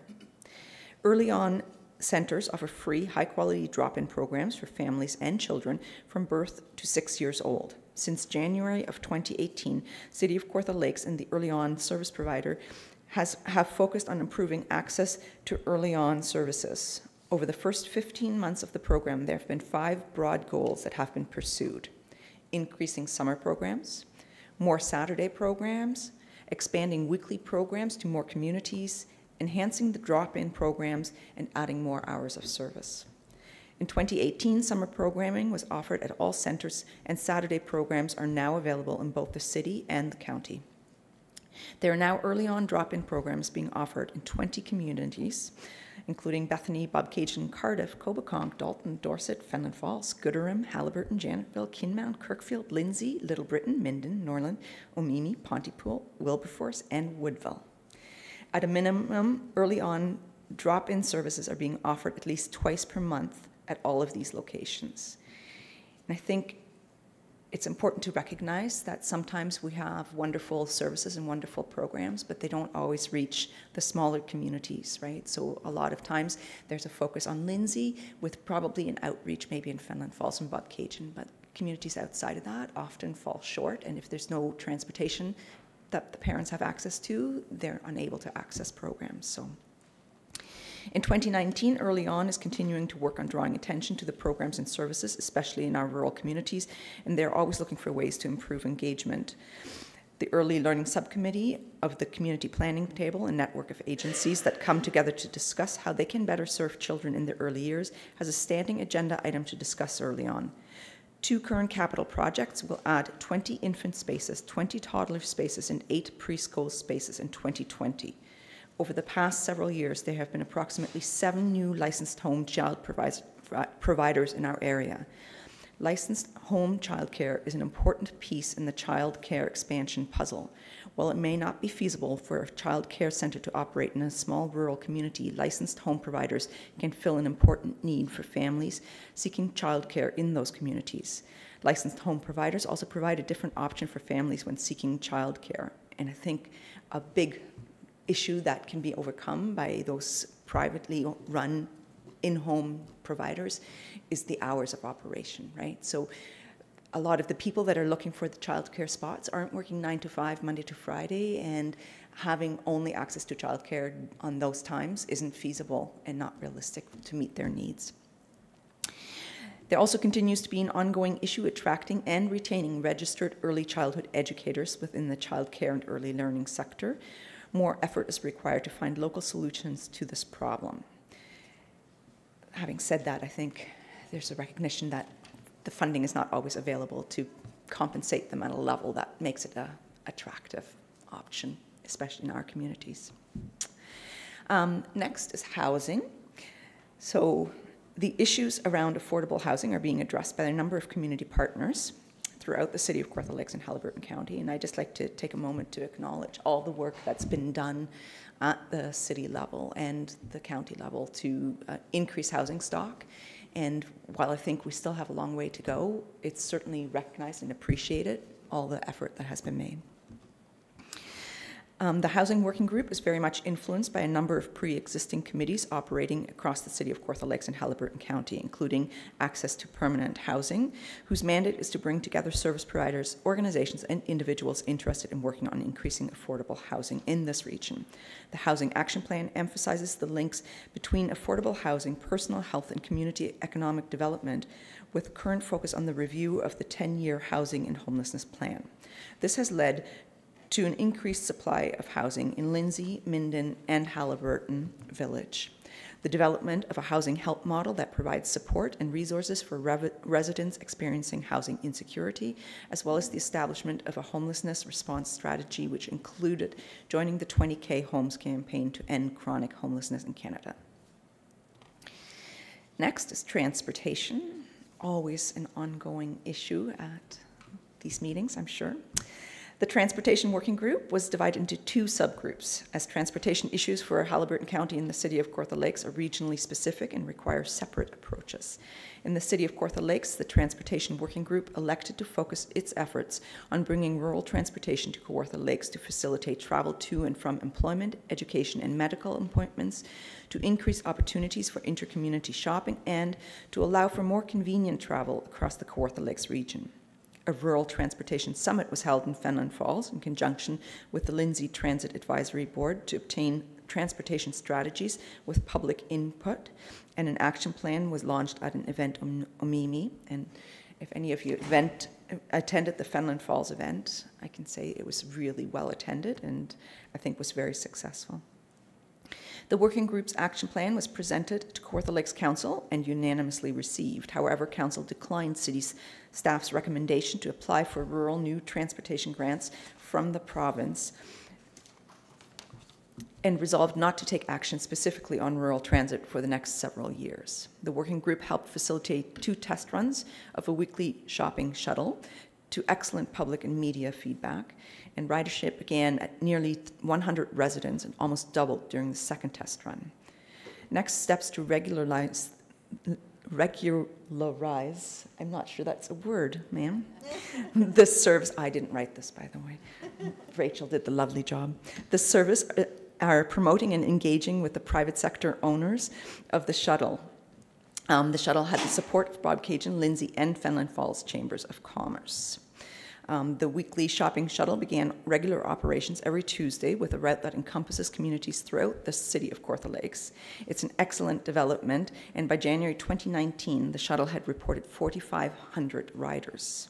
Moving forward, the Transportation Working Group will continue to work on coordinating a central rideshare resource, encouraging increased home delivery by local stores, example groceries and pharmacies, and focusing on the development of more active transportation infrastructure. In addition to the working group activities, the Roundtable was able to secure funding from the Ontario Trillium Foundation and recruited three individuals to receive training to run the Bridges Out of Poverty workshops in Haliburton and the City of Kawartha Lakes. The workshop is a framework for understanding poverty designed to increase the understanding of, and to improve one's ability to work with individuals living in poverty. They, the focus is on hidden rules of economic class and providing strategies to have relationships at the individual level and improve outcomes at an organizational level.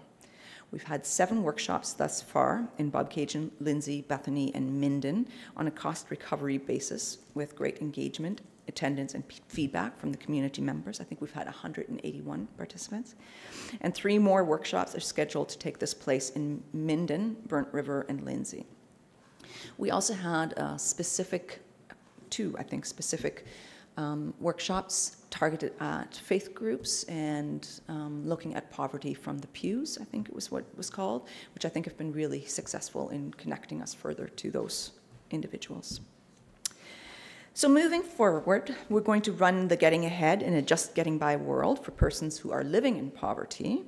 Um, so that will be a multi-week course that we're hoping to run in two segments, in one workshop in um, Haliburton County and one in City of Kawartha Lakes, with six participants at each, and there is uh, actually an incentive for the participants so that they have some cost recovery for their travel time, so they do get gift cards to attend. We're looking to have stakeholder engagement in poverty reduction issues and to review and update the action plans. So, that brings us to why we're really here and how you can help to support us on an ongoing basis. So we would ask that you continue to invest in more affordable and supportive high-quality housing, create more mixed neighborhoods with diverse housing options, and invest in programs for home repairs, improved energy efficiency, and increased accessibility. We would like to see an increase in the number of licensed childcare spaces, which is still an ongoing concern, as well as the support of subsidized, no cost, and low cost recreational opportunities, library programs, and community events for children and their families.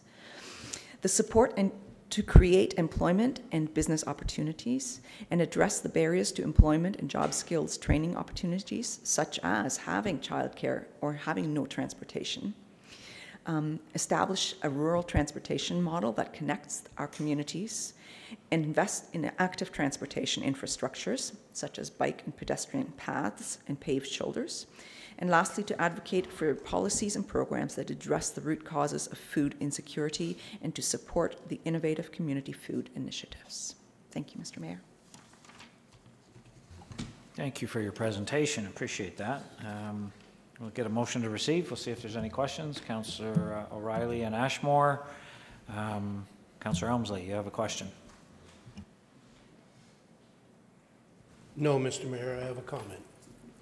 I want to thank Marina and the whole Poverty Reduction Roundtable. They're a very dedicated group who meet regularly, and the meetings are always well attended, they're well run, and ideas come forward at a rapid rate that are acted on, that are um, looked after. We have uh, very able support from city staff, from Mr. Sutherland and his, uh, uh, his team.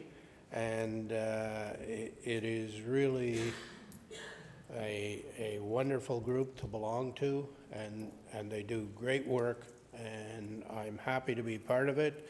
And I'm thankful to the city for the support they give, and I hope we can find a way to continue to support them and to uh, move forward with some of uh, the, the things they need to have happen in order to be successful. So just a big thank you.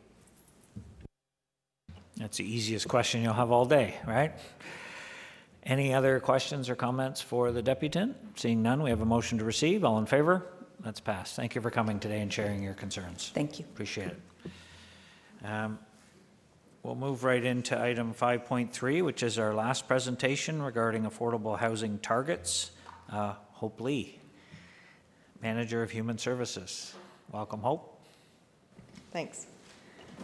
Uh, Mayor, members of council, I'm happy to be here today um, to present uh, a little bit of information that relates uh, to the report that you have on your agenda about um, adopting affordable housing targets and supporting um, an affordable housing initiative uh, policy. If I can get this to move, oops.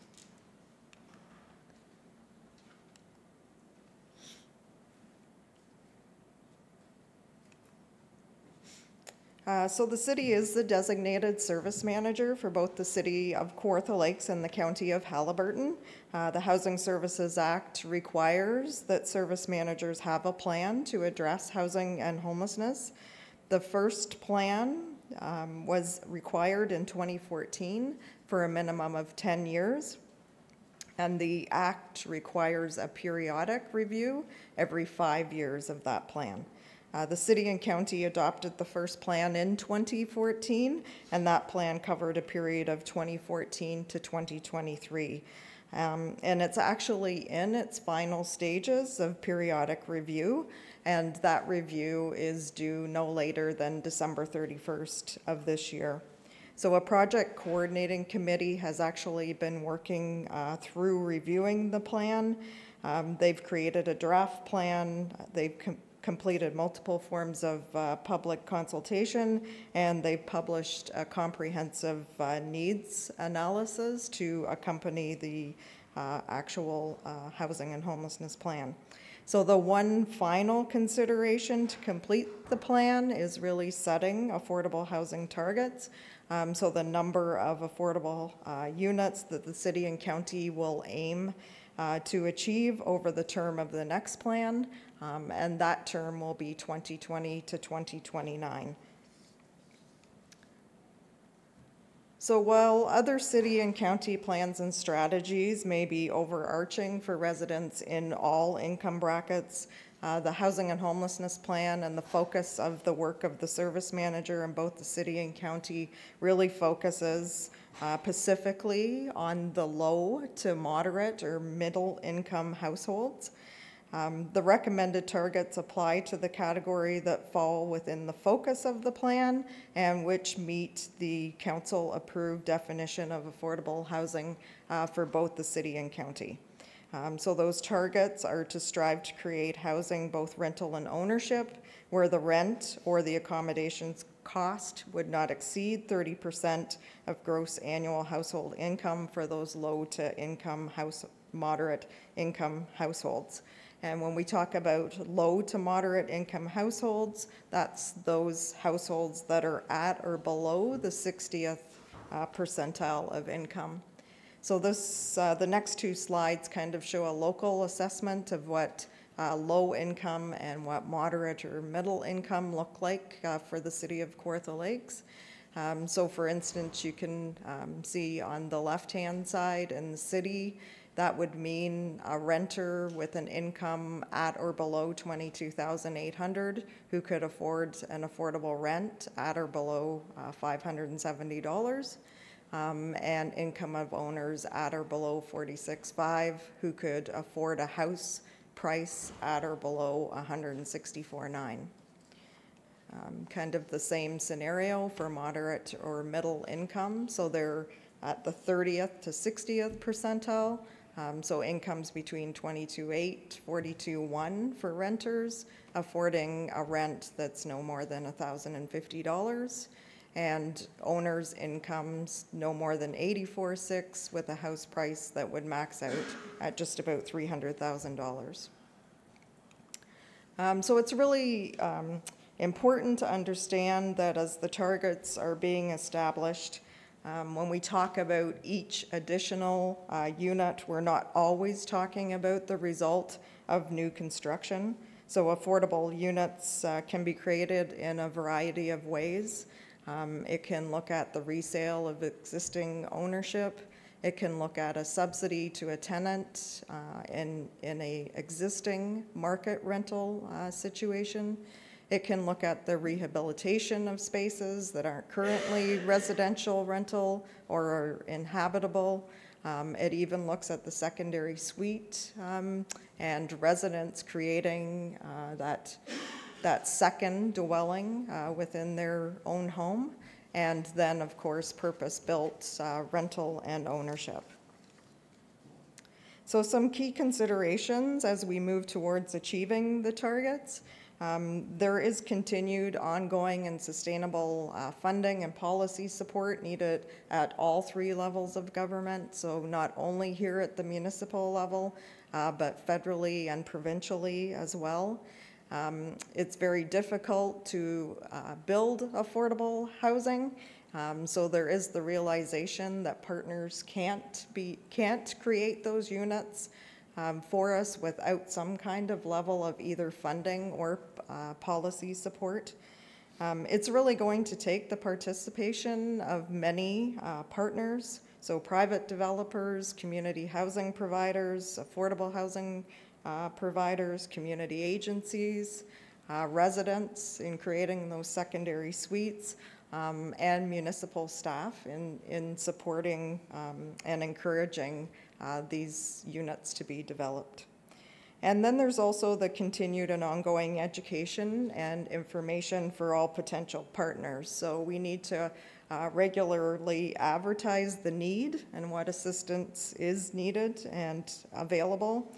Um, keep the message uh, current. Uh, we need to help partners understand how they can contribute, and we also need to hear back from partners on uh, what's standing in the way for them helping to us helping us to meet these targets. Um, so in both the city and county, the majority of new housing starts each year continue to focus on detached homes for the ownership market. Um, there's also the uh, ongoing resale market. However, it really provides very limited options uh, for that low to moderate income uh, bracket. So while there's really no method, no formal method to establish targets for ownership, um, we are considering three different approaches to help encourage um, that there is some ownership available to that low and middle income uh, bracket. Um, so in the resale market, we want to continue to uh, support individuals who may not be able to come up with that down payment assistance but are ready to move from rental um, to ownership. So when we have funding available, um, we should definitely be uh, considering that program in both the city and county. Um, under new construction, um, the city and county will, will establish some policies to ensure there's some op options available. Um, this can be done through uh, different policies or plans of the city. And then, of course, um, actively pursuing ownership options with nonprofits uh, like Habitat for Humanity. Um, so certainly the, the lack of uh, purpose-built uh, rental has been and continues to be a concern in both the city and county. Uh, the vacancy rate has remained low for several years as supply isn't keeping up with demand.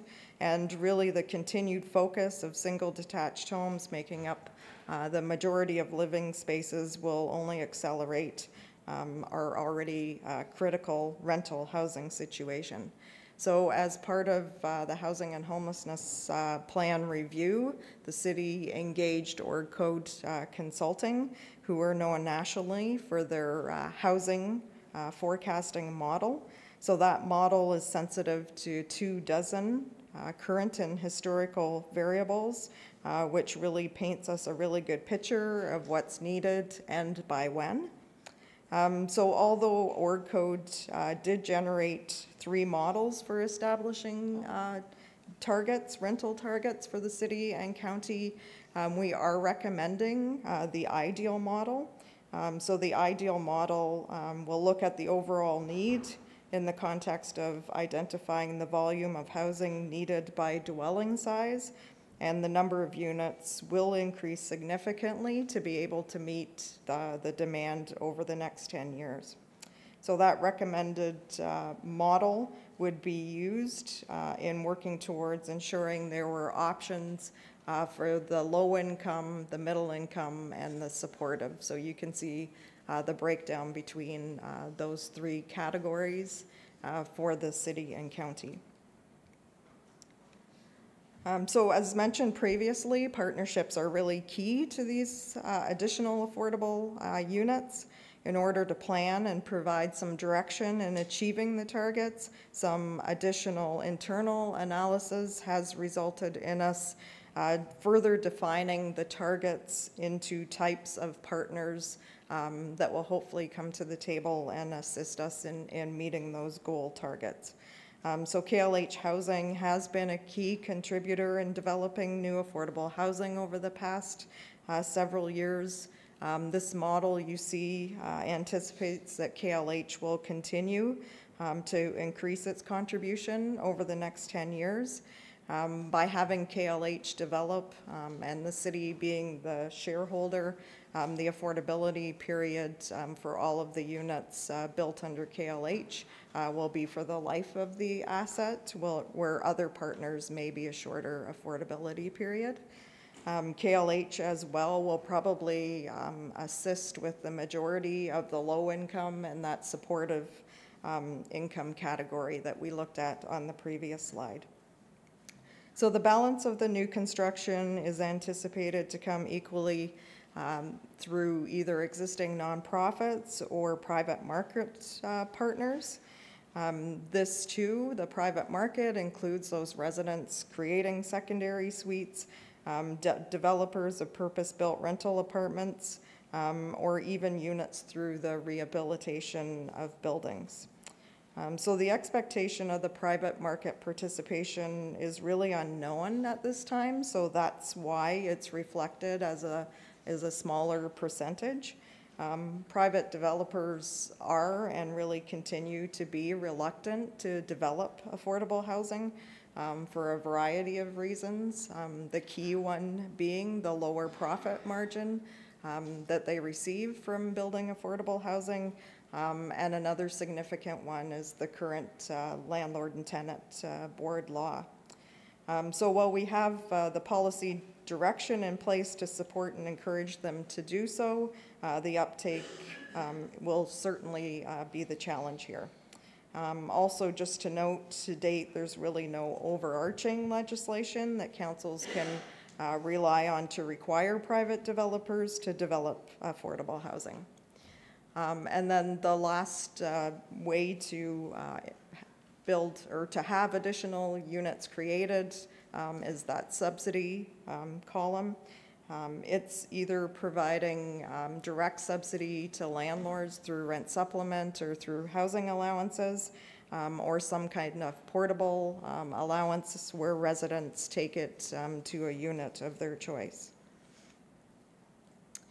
So providing municipal incentives to, to encourage new construction and rehabilitation will assist in a variety of ways.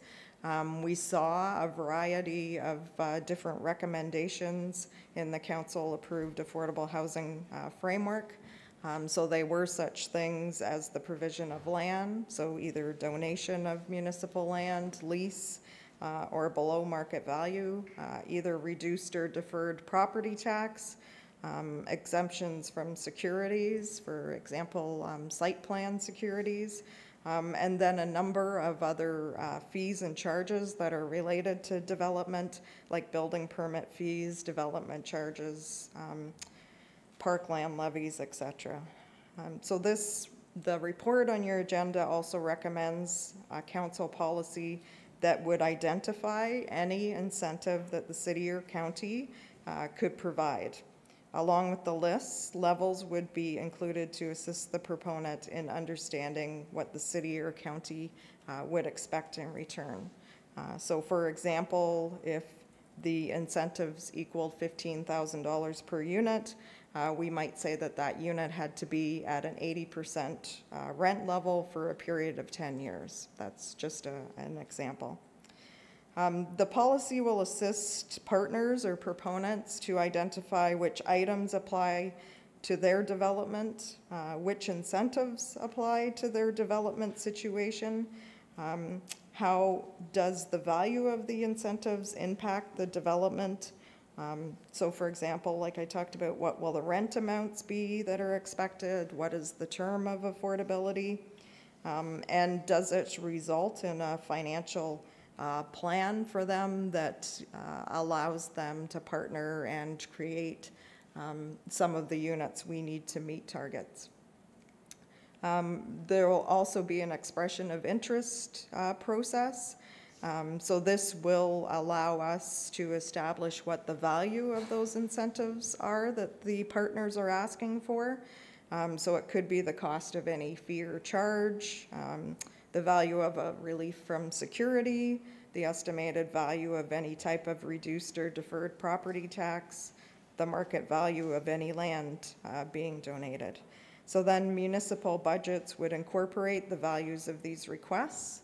And then once the budget and project were approved, the full value of the municipal incentives are actually itemized within what we call a municipal housing facilities agreement.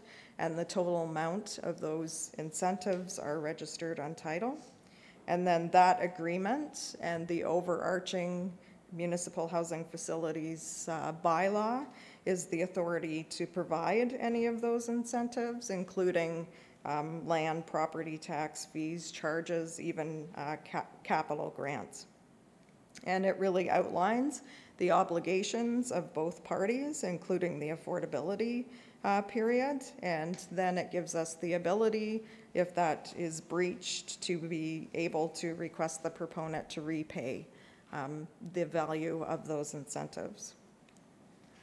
Um, So just in conclusion, um, I want to say that the definition of a target is an object or goal that is being aimed for. Um, The affordable housing targets the council's being asked to adopt today are the additional units that the city and county will aim for over the next 10 years. Um, The city and county will not achieve these goals without a variety of partners. There's no expectation that the entire cost of any or all of these units will be the responsibility of the city or county on its own. Uh, Residents, uh, residents will become partners by creating secondary suites in newer existing homes. Developers of ownership and rental units can contribute by making some of their new units affordable, and landlords of existing market rental can partner with the service manager for rent supplement. It really is too complex to calculate the actual municipal cost in order to achieve these targets at this point. Um, We'll see fluctuations in the types of partners and the types of projects uh, that will be brought forward annually through the um, expression of interest. And by, by receiving those annually, it will really give municipalities um, the ability to consider um, the cost of those incentives, realizing that affordable housing is only one of the municipal uh, priorities um, that you have to consider. Um, What is required is a commitment of all three levels of government to assist. So while municipalities can look at ways um, to fund these projects, either through uh, budgets, long-term financial plans, uh, or DC reserves. The National Housing Strategy will provide access to various funding and financing, and the province has already committed to cost matching in the National Housing um, Strategy funding, um, so that service managers do have funding allocations that they can um, also contribute to helping uh, meet those targets. So that's it, and thanks for your time. Thank you. For your presentation, we'll get a motion to receive the presentation. Counselor Elmslie and Dunn. Counselor Elmslie, you have a question or a comment? Question this time, Mr. Mayor. Uh, Thank you, Hope. Thanks for the presentation. Uh, Just, I don't know if you have the answer, or maybe Director Marshall might. Where are we with the bylaw for uh, secondary suites outside of Lindsay? Do you have any idea?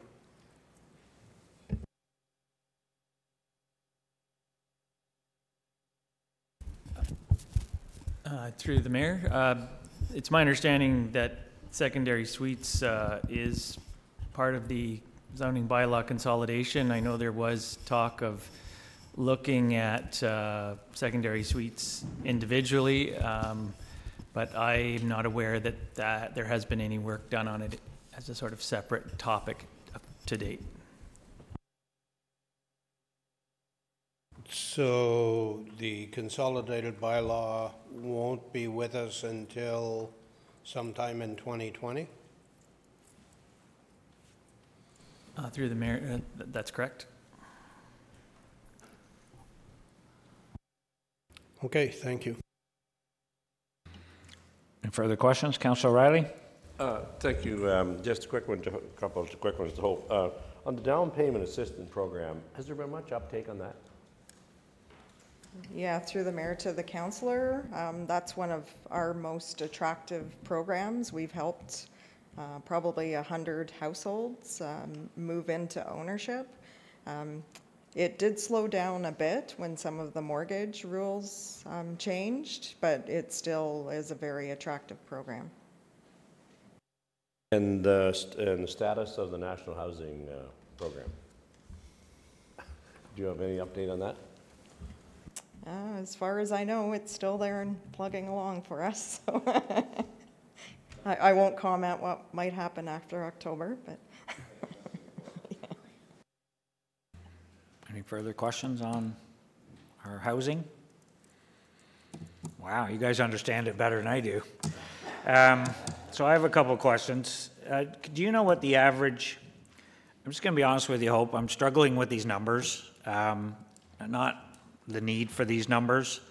I'm struggling with the budget, unknown budget implema- um, implications of making a commitment. I understand there's other levels and that you can't put a funding number to it, but to me, that's a hard decision for council to make a targeted commitment without knowing what those, you know, we have other priorities, as you mentioned before, so how do we balance that if we don't know what it's gonna cost? So I'm, I'm struggling with that part of it. Do you know what the average number of units that we've built for affordable housing over the past 10 years? I mean, we're, we're looking at a target here of 200 a year for the next 10 years. So can you give me a ballpark of what we've maybe averaged over the past 10 years? Uh, So just looking at KLH, I can um, tell you that we've been developing around 20 to 30 uh, units a year. Um, Not really aggressively developing either, right? Looking at a aggressive model. Um, I, I'd have to go back and look at, we've also been uh, quite successful with uh, rent supplement. So there's been a, a number of new rent supplement, and there's been a number of uh, portable benefits established as well. So if I had to say, on average, we're probably creating 40 to 50 new units a year. Yeah. Okay. And this is a pretty aggressive target of 200 per year. Um, Again, I'm struggling with the financial, you know, are we making a financial commitment that, are we writing a check we can't afford to write right now? And please don't, I know the need is there, I know we're trying to get ahead of the need. Uh, I'm, I'm just, I'm struggling, you know, with that aggressive um, commitment that you're asking this council to make. Uh, When you talked earlier about the 15,000, approx- you're just putting out numbers, subsidy to subsidize an- a housing unit, who pays, who would cover that cost? When you say a 15,000 subsidy on a, on a, on a housing unit, is that a municipal cost that we would be subsidizing through incentives? Is that what you're talking about when you sort of come up with that 50? Is that to a builder? Is that, I'm, I'm, uh, just explain that to me if you would. Yeah, so there are different ways to offer incentives. So some of it will be a municipal cost. Um, so maybe I can use a, a past KLH project as an example. Um, so the majority of the funding came through uh, federal provincial uh, program funding.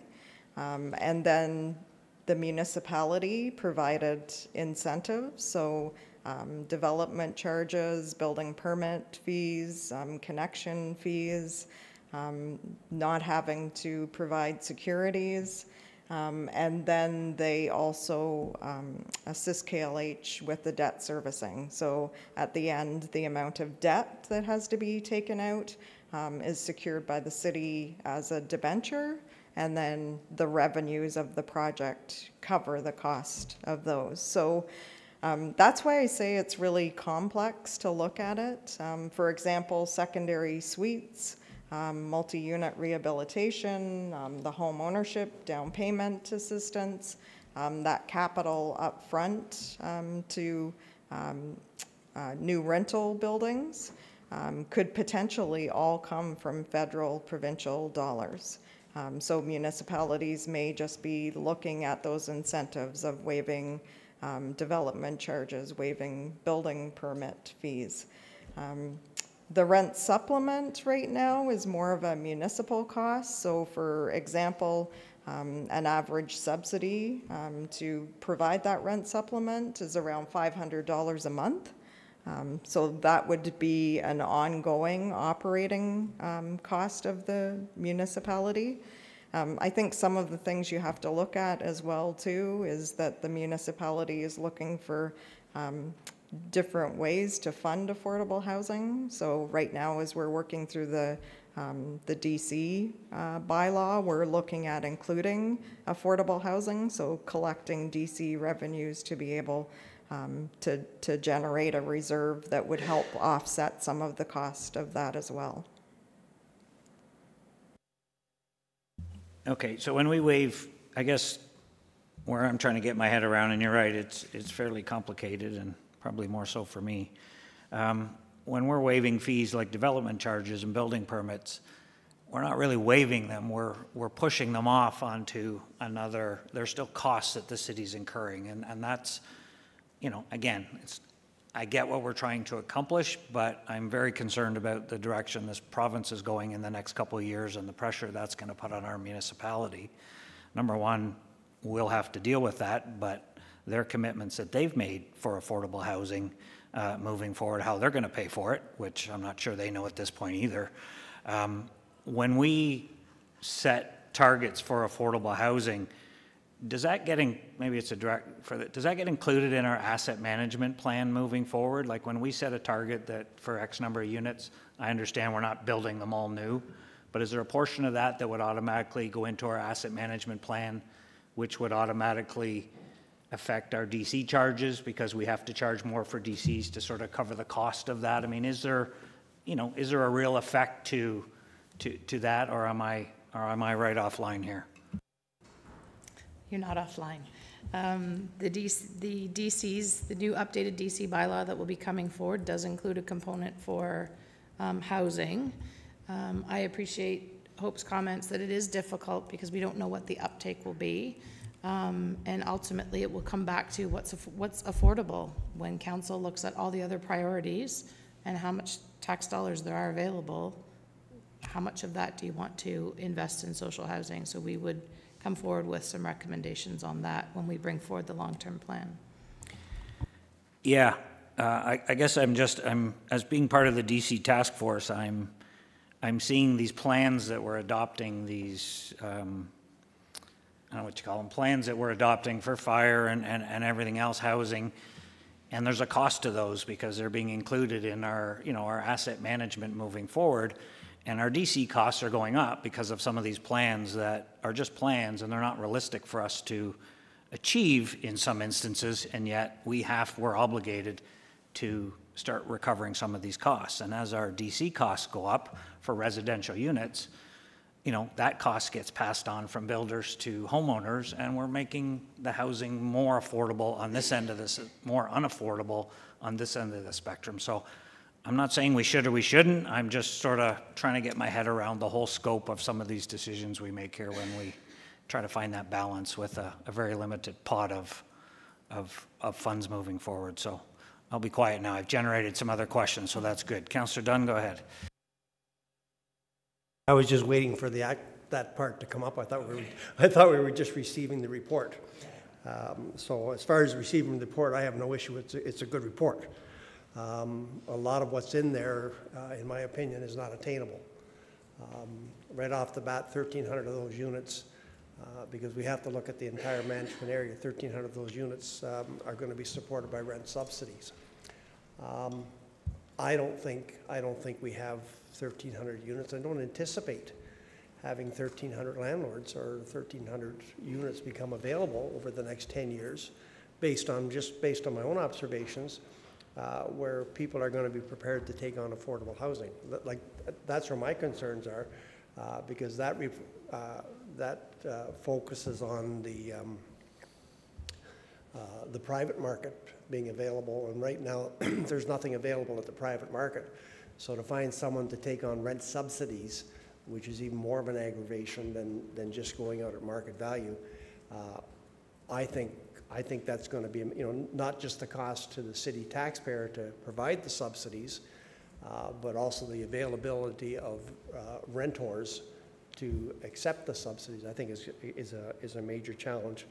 Uh, The only, um, uh, the only solace I take from this report, and we had the discussion at the housing meetings, is that, uh, that these are very aggressive targets. Uh, I don't expect that 10 years from now, we're going to reach those targets, but I also have no problem of setting the goal high uh, and accepting the fact that we did everything to get there. So um, but I'm 100% on side. uh, What we're asking uh, our community to do and what we'll end up doing, I think are going to be two totally different, uh, two totally different things. I know by lowering expectations, I don't know if we get there any quicker, so that's just my comments. Thank you. Councillor Riley? I guess I was, any questions for Hope as well while No, she's no, here? and then yeah, we'll it deal was the around the same lines, To your yeah. point, it's just to receive, so. Yeah, it's just the anticipation of targets. Uh, We, I know we have to set targets, as Councillor Dunn has said, so, I- and whether realistic or we feel as though they are unrealistic. Um, That's just basically what it is, an expectation that we're going to, uh, well, hope an expectation we make, because everyone in this room would like to, I'm sure would like to make those targets, but uh, um, by setting these, that, uh, was there a lot of um, thought gone into whether realistic or not realistic, or? Yeah, so through the mayor to the council, um, yes, they are realistic, right? They were created um, through a modeling forecast that looks at 24 different data points. Um, So it's looking at a local assessment of our community to develop those rental targets. Um, You're right, um, like numerous uh, have said, it is a target. A target is a goal. Um, And I'd be hopeful that we would achieve a, a good portion of those. Um, I think right now what you're looking at is a is a community um, where partners are out there that potentially haven't come to the table, maybe because we haven't done a good job at saying what's available, what do we need, what can we provide you to come to the table, what do you need from us um, to help. It's been said, just the unknown of the uh, climate, both federally and provincially, going forward, that is a bit of a wild card as well. Thank you. Any further questions for Hope? We'll get a motion to receive, or we have it. All in favor? That's passed. Thank you very much. Don't go too far away. We might have more questions. Um, So we'll move into item 6.1.1, which is the, uh, the Affordable Housing Targets Report. Um, As Hope mentioned, uh, they're recommending the ideal model, which is the aggressive model, um, and that the policy attached uh, entitling, entitled affordable housing incentives uh, be adopted and put into the corporate policy. So I don't know what council wants to do. Councillor Elmslie? Well, like everybody else, I do have uh, concerns about the aggressive targets. I also think that, you know, reaching high is a good thing, and I, I am disappointed that the uh, bylaw allowing secondary suites hasn't come forward by now, because I do think that that will go a long way towards helping us achieve those goals over the next 10 years. So being a, an optimist, I will give you a motion as printed. So as printed, that the affordable housing targets be received, that the affordable ownership and rental targets, the ideal model processes to encourage them outlined in the report be adopted, and that the policy entitled Affordable Housing Incentives appended to re- this report be adopted, numbered, and inserted in the corporate policy manual, and be forwarded to the next council meeting. That's correct. Seconder, Councillor Dunn? Do you want to, you want to speak to it? I don't think I can improve on what Hope said in her presentation, and I think we understand the challenges that are facing us. Um, But I also think the need, as you pointed out, the need is there, and I, with appropriate partners, it will be a stretch, but I think we can probably get there over the next 10 years. I- And based on all of those things, um, I, I'm willing to move it uh, for that reason. Thank you. Councillor Dunn, do you want to speak to it? I like the, uh, the incentives. I think it's going to encourage the not-for-profits. I'm not too, too sure that the public sector will get involved, but uh, I think the, the incentives are there that the not-for-profits will probably uh, take advantage of it when they can. So I think the incentives are good incentives. Uh, And I recognize it's just a, it's, it- it- it's, it's still our money. It's still tax money. It's tax money that we're not going to receive.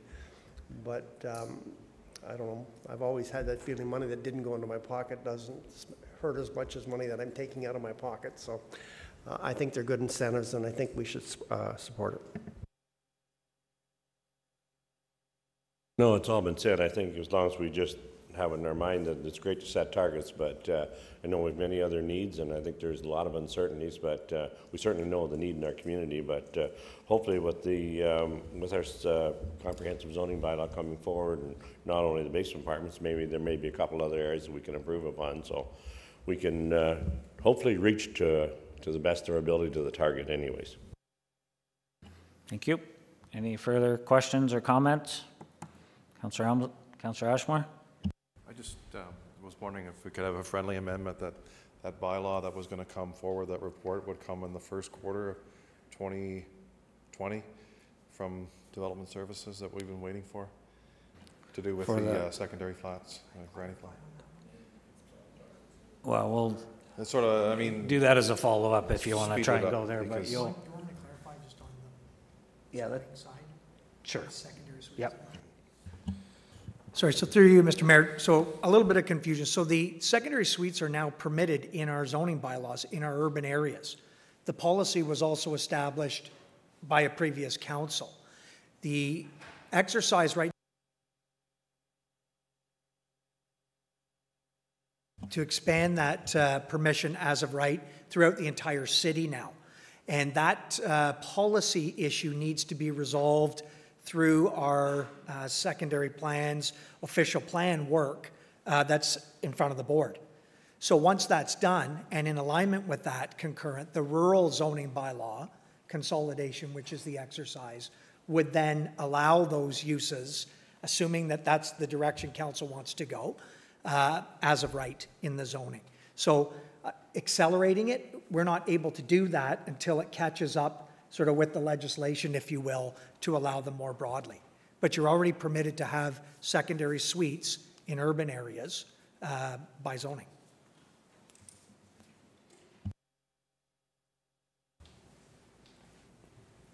I certainly am confused then, because as far as I know, the only place we have secondary suites is in Lindsay. I do not know of any secondary suites that have been approved for any urban areas outside of Lindsay. So through you, Mr. Mayor, I- I would suggest you're absolutely right. We're not getting very many formal building permits to build secondary suites because of some of the conditions and requirements. Um, But they're out there. And I would suggest that there's secondary suites uh, in all of our urban areas. Some of them may have not have gone through a building permit process uh, and formalized. But they, from a zoning perspective only, they are right now permitted as a, a secondary use uh, within a residential suite. Okay. Director, you have a comment? Just to clarify, I think what Councillor Elmslie is referring to is that in the uh, town of, or in the Fenelon Falls zoning bylaw, there are restrictions on secondary suites. Um, But I think that was due to flooding issues historically, um, that, that that was put in, but it's an historic zoning bylaw issue, and I think that's what he's referring to specifically. So yes, secondary suites predominantly throughout the, the city in the urban areas are permitted through zoning, but unfortunately in Fenelon Falls, that's not the case. And I think that's what he was referring to in looking at policies or doing some work outside of the zoning bylaw consolidation uh, to update the Fenelon Falls zoning bylaw, which doesn't permit the secondary suites at this point. Well, that really cleared it up. Are you good, Councillor Ashmore? Aye. Let's go back to the original motion, which is affordable housing targets, okay? The motion as printed. If you want to do a follow-up motion, you can do a follow, let's deal with this first. Um, So the motion is as printed. Is, is everybody clear on the motion? Okay, I'll call the question. All in favor? That's passed. Thank you. Are you still looking at a follow-up motion for secondary suites? It doesn't seem like we need to uh, pursue that at this time. Agree? Okay.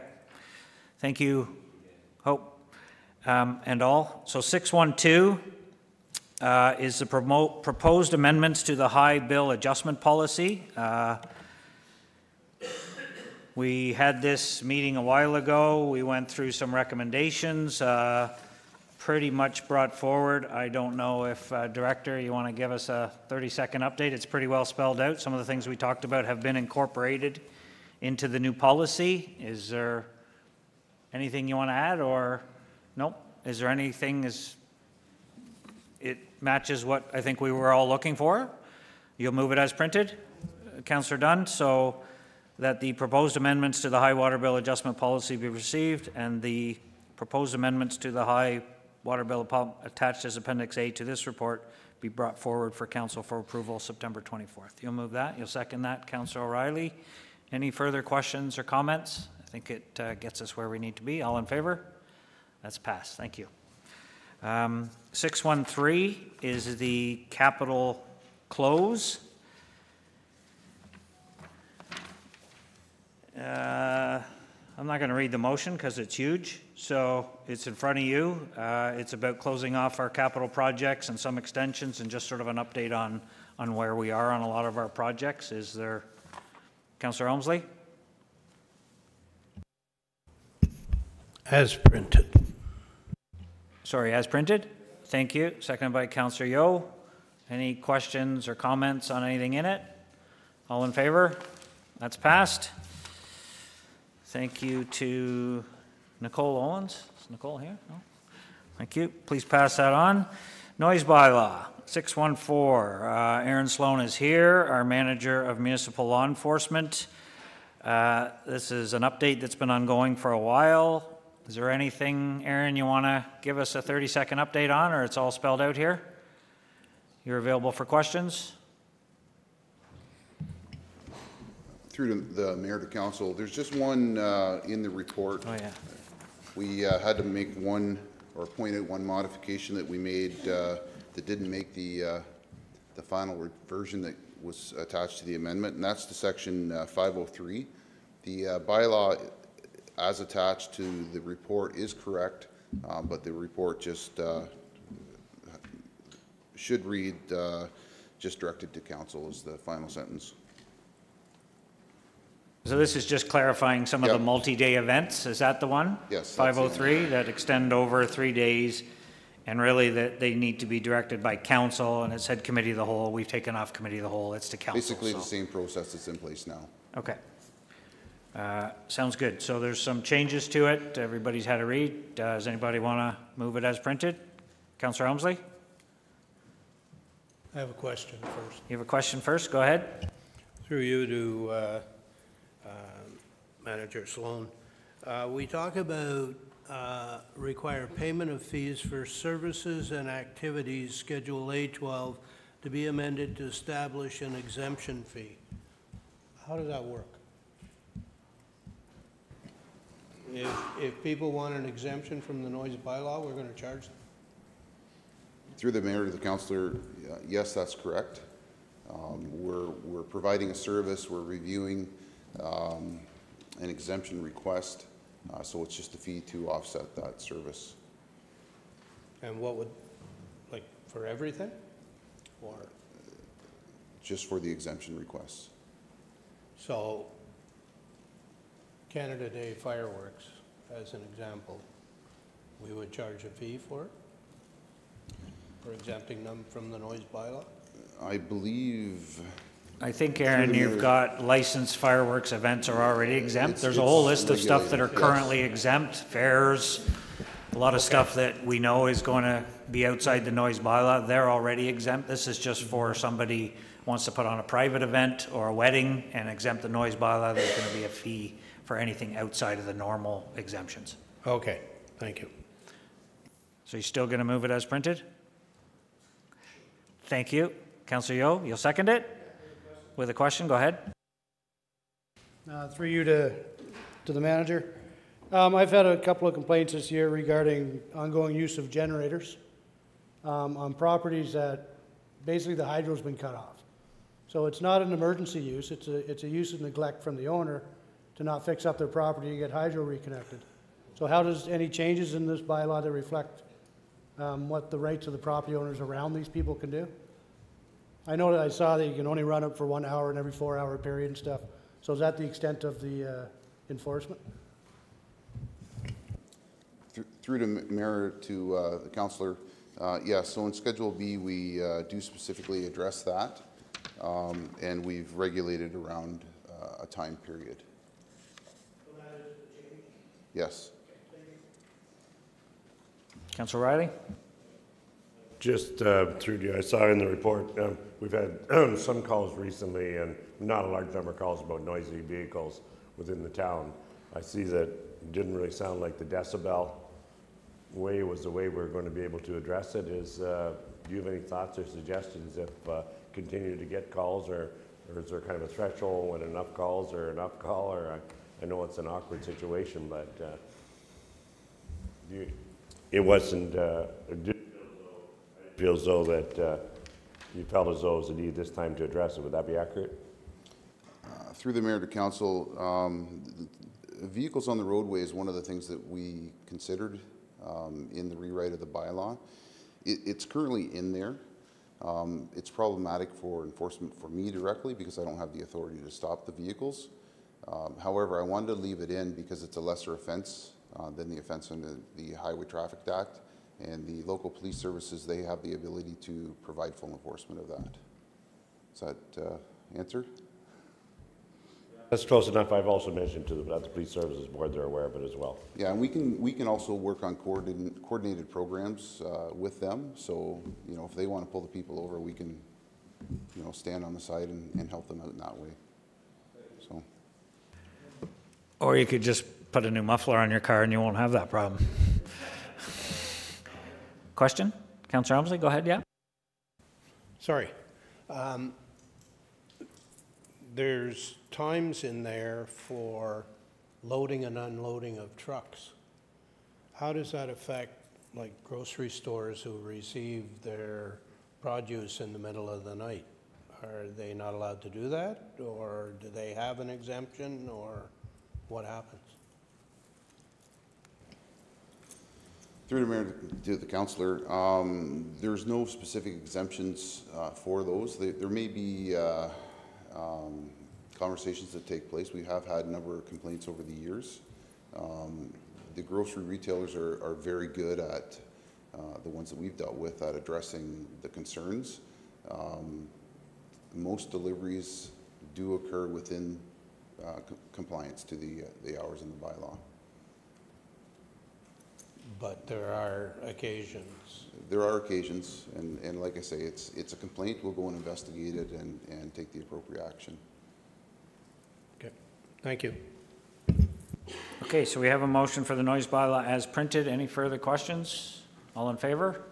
That's passed. Thanks, Aaron. I know you put a lot of work into that one, so thank you for that. Um, Lots of different uh, interests in the noise bylaw. Uh, 615, the proposed designation of 3 St. David Street and 4 Riverview Road concerning heritage. Councilor Riley, you had uh, a comment on that one? I'll move to, um, to receive the, uh, to receive it to start with, and basically that, um, that the committee of the whole endorse, uh, not endorse the whole uh, municipal heritage recommendation. At this time, I'm going to second or I'll speak to it. So that it be received that the Committee of the Whole not endorse the heritage recommendation to designate 3 St. David and 4 Riverview Road in Lindsay under Part 4 of the Ontario Heritage Act as being of cultural heritage value and interest, and that that recommendation be brought forward to council at the next council meeting? Yes. Thank you. Get a seconder? Councillor Yeo, thank you. Uh, Go ahead. Uh, Thank you. I know, um, I've had lots of, uh, we said we have lots of, well, Councillor Dunn and I kind of share the same territory over there. I've had lots of, uh, uh, the, the- well, the actual petition's been taken up as well. But um, I think, believe there's been an excellent report that's come forward from our heritage person that basically took everything in consideration. I think this house, for example, was a house that has lots of heritage, but, you know, there's probably 200 or 300 of those heritage houses in Lindsay as well. This house wasn't, wasn't well kept up. uh, to start with, and this young woman that bought it basically added some new things to it. It was nothing to do with heritage. And um, I also uh, believe that, uh, and the other uh, very important part is that I think we really need uh, housing in our community. So I think those are some of the key issues. And the other thing is they never really met the threshold of a lot of the things that it was supposed to meet to be uh, considered a, a heritage play, a heritage house. So uh, that's kind of the main reasons that uh, I would uh, say not recommend it. Thank you. Councillor Yeo, do you want, you seconded it? Do you want to speak to it? Thank you. Thank you for the clarification. Councillor Dunn, go ahead. Yeah, thank you, Mr. Mayor. Just a couple of questions through you to the, there. Uh, My understanding is the Heritage Committee was approached at some time prior uh, when this question first came up and that they indicated that they had no interest from a heritage uh, standpoint in that particular property. Can you confirm or deny that? Um, I can neither confirm or deny that. I know, to be to be perfectly honest, um, I know that the Heritage Committee was um, approached by members of the public who thought that there may be some heritage value. Um, and in getting this request from the public, members of the committee um, went and did some background research on the property, which ultimately informed their recommendation to council. Okay, yeah. Uh, Thank you. Yeah, my understanding is uh, this is the second kick at the, uh, at the can. You Can't say kick at the cat anymore, so kick at the can for, um, for uh, this particular piece of property. Um, The local residents have some very legitimate concerns uh, with this apartment building that the, um, uh, the, the planner and the developer are addressing. Um, You know, and I, I just get the feeling this is sort of a backdoor attempt to, uh, to shut down a, a a perfectly legitimate development uh, that, that they just don't want. Uh, So I think, I may argue against the development plan when it comes forward. I may not like it, and- and local people may not like it, but uh, I don't think this is the avenue to, uh, to shut it down. And I would uh, agree with those comments. Thank you. Councillor Ashmore, you had a comment?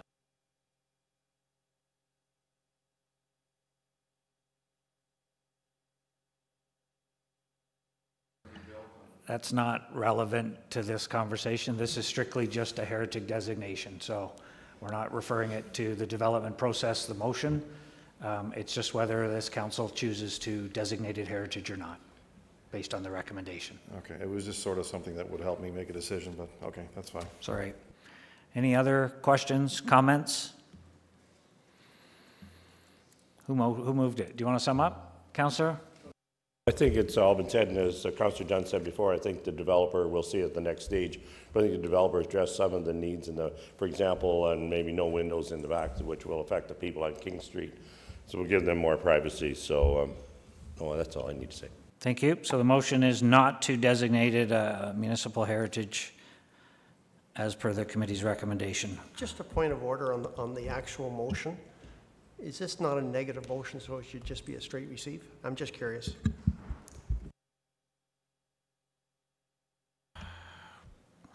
I'm just trying to close it off. We could just receive it. I'm just trying to, so that there's no, we receive it, it's sort of left open. Um, I've just thought by putting in that we not endorse it, we're either endorsing it or we're not.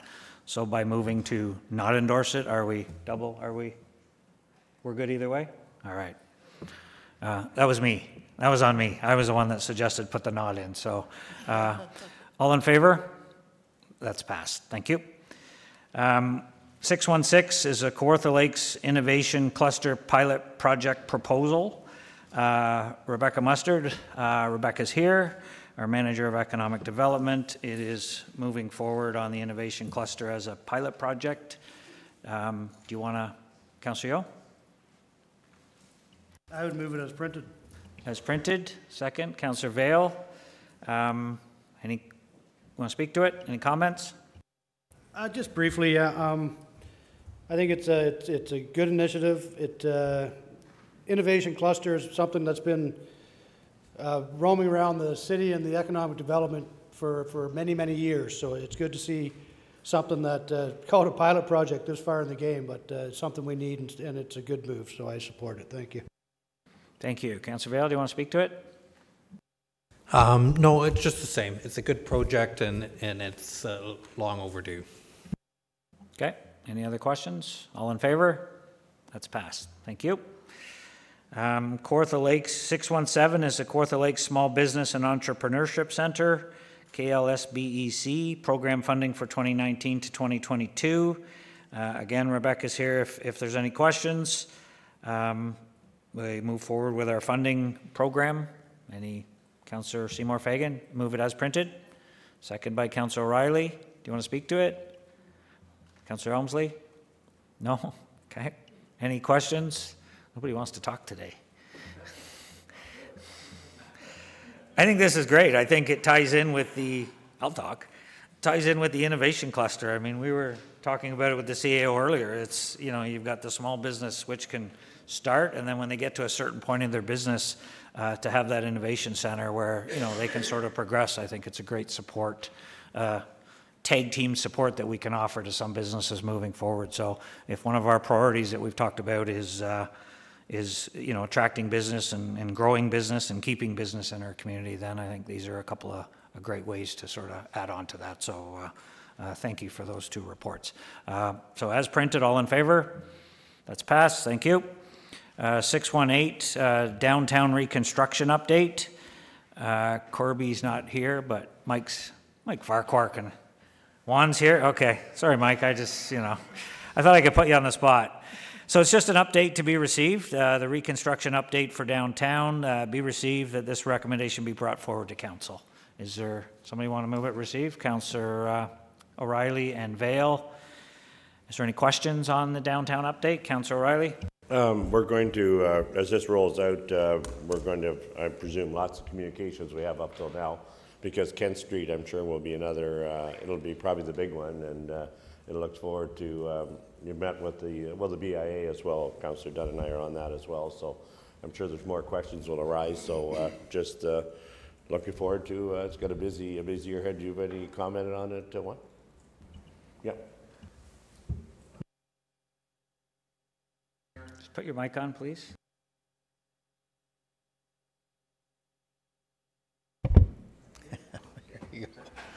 Uh, Thank you through you, Mr. Mayor. So yes, this is phase two of the downtown uh, reconstruction project. Uh, So phase one was Peel and Russell. Um, We are breaking up Kent Street into uh, two phases, over, or proposed two phases, subject to budget approval. We'll be asking for an early start consideration at the regular council meeting of September 24th in order to get a tender out um, in November uh, with a projected start date of uh, February, March of next year, if approved. Thank you. Any other questions?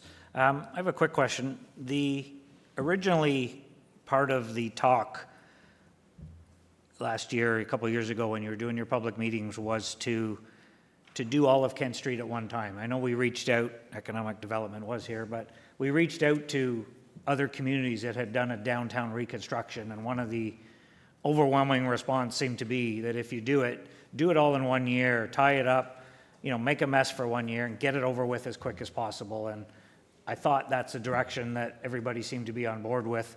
And now I see that we're staggering it over two or even three years, um, obviously from an, an affordability prospect. But what, what changed? What changed in that conversation? Can you update me? Uh, Yes, uh, to you, Mr. Mayor. So at uh, PIC number two, which there's a link in the second page of the report uh, to all the background documents of that PIC, um, or maybe top of page three, uh, that's on the website. We had polled uh, the community uh, for two options. Option one is doing all of Kent Street in one year, and option two, doing half of Kent Street in one year, and the second half in the following year. Uh, So through the BAA, they conducted a, a survey of their membership, and more were in favor of splitting it up into a two-phase system. Um, Now, not, it was by no means unanimous, uh, but the majority uh, was in favor of doing half in one year and half in the second year. Um, We did add a fourth phase, uh, not to Kent Street, to some of the side streets. Uh, We noticed when we're doing Peel and Russell, it was very, very challenging uh, to complete all the work in one calendar year. Peel is 95% complete, Russell is about halfway complete, and Kent Street is a bigger project. Uh, So uh, knowing the realities of the construction world um, and the constraints on our funding, uh, we advise to break it up into four phases. Uh, But Kent Street still remains a two-phase project. Thank you. Uh, Motion as printed to receive, all in favor? That's passed, thank you. 619 is the, ah, there's Mike Farquhar. There's the update on projects within the Road Life Cycle Extension Program, uh, that the report, uh, again, be received. This, excuse me, gents, this comes from, uh, from the motion when we added seven, eight hundred thousand dollars to the road life cycle extension through our surplus. And we asked that we brought back an update on the roads that were being added or worked on or, or where they were uh, at that time. So it's just an update to that. Uh, Anything you want to add, Mr. Farquhar? Um, Uh, Through you, Mr. Mayor, not unless there's any questions, uh, but just with the, uh, with the report, there's a chart which also updates uh, uh, uh, a lot of other resolutions that came from that meeting as well, that was outside that $800,000. So it just kind of ties everything together. So some of the other roads that were brought up but aren't funded as part of that life cycle extension are in this report saying they'll be under consideration, a lot of them in 2020. Through you, Mr. Mayor, uh, that is correct. Perfect. Uh, Did you have something to add, Juan? Uh, Just wanted to um, highlight that. Uh, uh, Page two of this report is very important.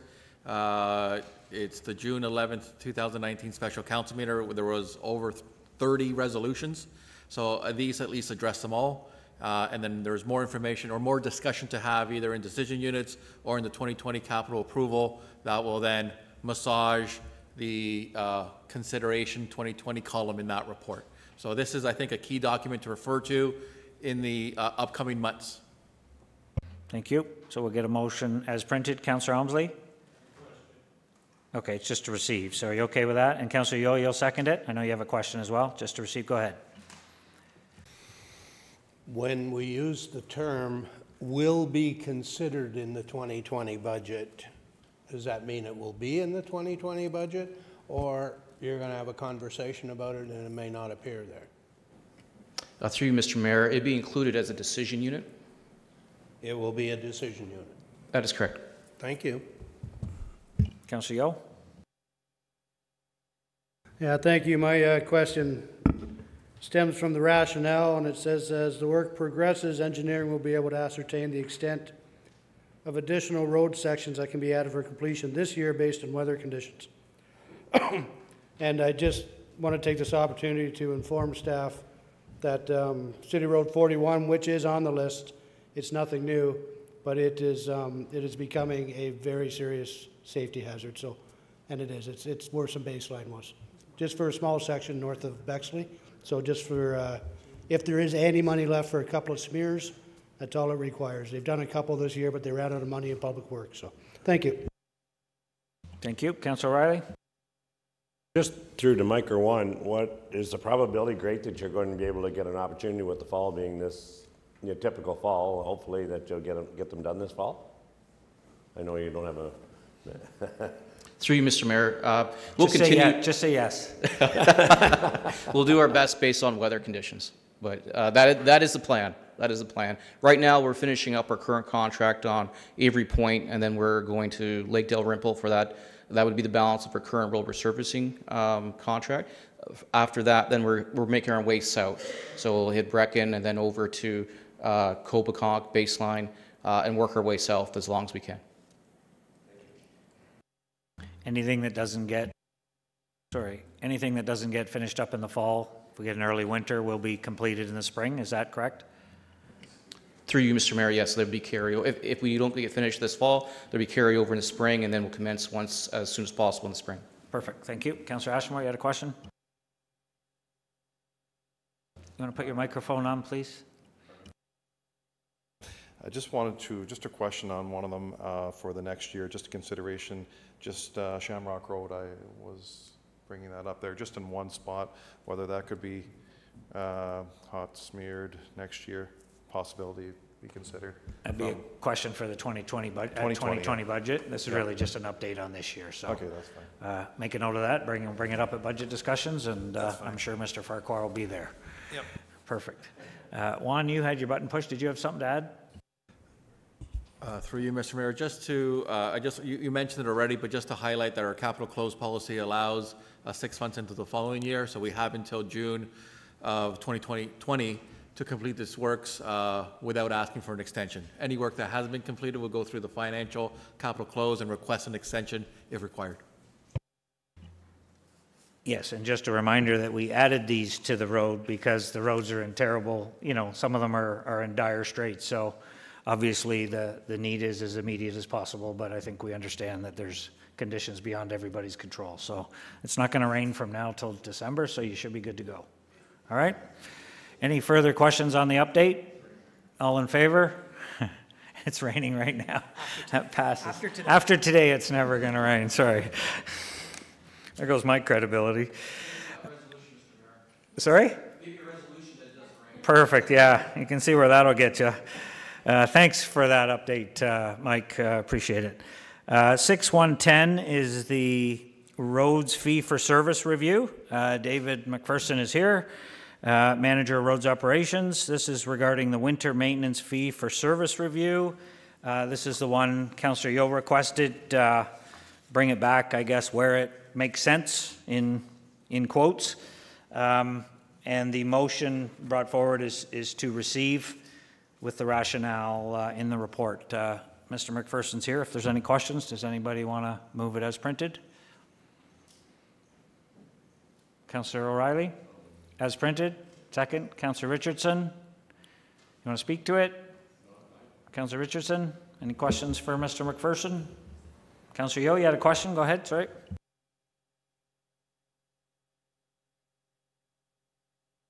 There we go. I see there wasn't a lot of uptake from council on this, so not a lot of sense going around there. I had a couple of roads, a couple of mine were taken off because um, they made so much sense that staff said, yeah, we'll do that one. So, but, but there's one road on here, um, McGuire's Beach Road, and I'd asked for a friendly that it be included for a fee for service, and if they'll take it, we can vote on it, and, and just, um, council can make a decision on whether to allow it. It does meet the minimum standard. It is so close to being an assumed road, all it needs is for them to actually do a little bit of work and apply for it.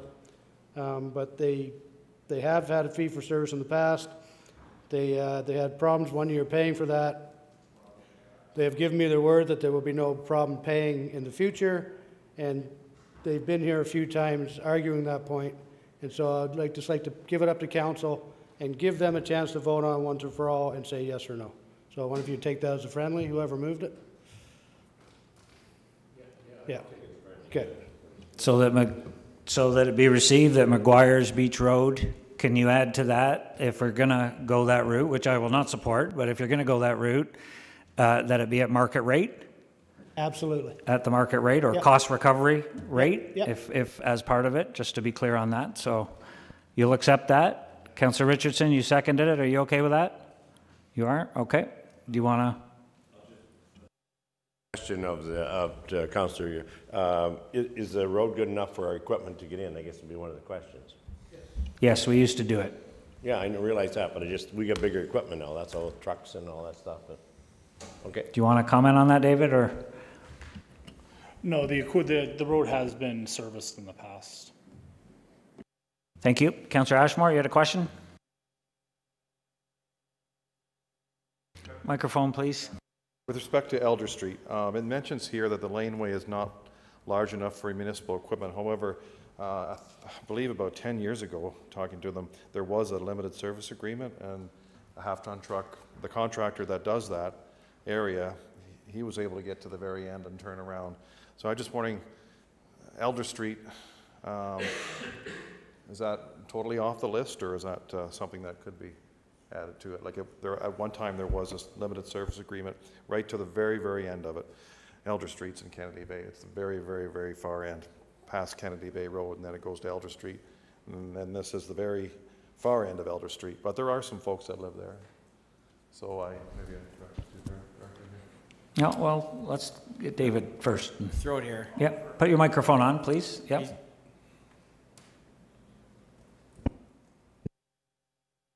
Is there. I defer to my director through the mayor. I like him. He's good. Go ahead. Uh, so through you, Mr. Mayor, uh, I, I'm not aware of the history of the maintenance of that road, but in reviewing the, the conditions of the road and current status of that road, it is, uh, it is a very narrow, uh, road, uh, not serviceable by municipal equipment, does not meet any kind of minimum standard within the road. So again, our recommendation is not to provide service to that road or the other ones identified. Uh, McGuire Beach Road, again, has a, a history of, uh, a service, a history of non-payment. The, the service was ceased uh, due to that uh, history. Uh, We've been working very proactively with that group to have the road uh, brought to a municipal standard and assumed and working with that, the group. And that's where my recommendation as the director is to continue to work with that group to have the road assumed and not reinstate a fee-for-service basis because we're in the process of, of uh, ceasing those services uh, across the municipality. So Elder Road, your reasoning is that the road, the portion there you're talking about that's not maintained is not suitable for our equipment at this time? Uh, uh, Correct. You have a follow-up question, Councillor Ashmore? To the director, um, Cobble Lane, it says here fee for service is not recommended, so there, are there, what are the options for Cobble Lane? Is there any way, I mean, it is really a difficult roadway to get, for the people to get in there, and there's a few people that live down there, and they pay significant taxes as well. So, I mean, they're certainly willing to, to look at this, but are we writing it off that we cannot have a fee for service at the end of this road? Cobble Lane? So, uh, again, uh, through you, Mr. Mayor, to uh, Councillor, Cobble Lane is a private road. Uh, Council has provided us direction not to undertake any new limited service agreements for private roads, so it's against a prior resolution. Uh, In addition to that is, uh, it's a substandard road that doesn't meet minimum standards for, for providing service. Uh, They have options. They, if they choose to bring a road and undertake the road up to a construction or improvements on the road to bring it to uh, minimum standards, they can apply to have the road assumed by the municipality and, and commence service. Uh, Again, the cost would be to the residents, uh, by the residents, so uh, there would be uh, impact to them. So they have alternatives, Uh, but as it stands right now with uh, the resolution of council not to provide service to additional private roads and the condition of that road, there's no alternative for municipal servicing in our mind. Thank you. Councillor Elmslie, you had a question? No, Mr. Mayor, I have a comment.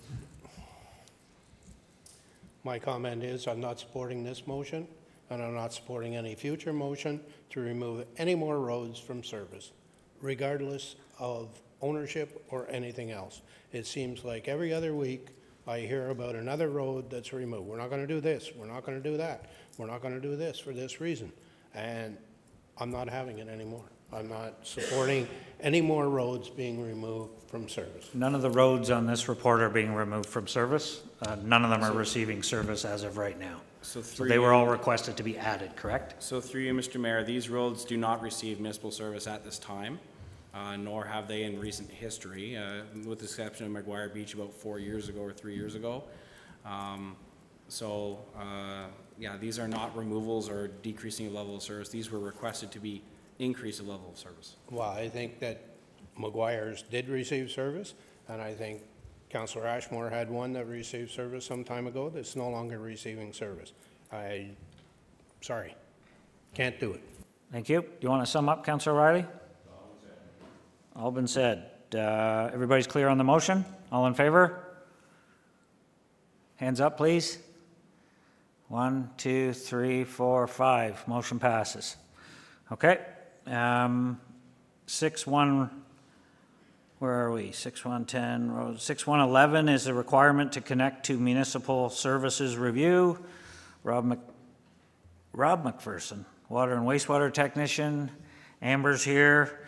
Uh, Requirement connect, this is the mandatory connect. Counselor Dunn, this was your baby? Yeah, I'll, um, I'll move the, that it be received and that option, or alternative number one be brought forward to council for consideration at the September 24th meeting. If I get a second, I'll explain it. So let's see what option number one is. Can you clarify?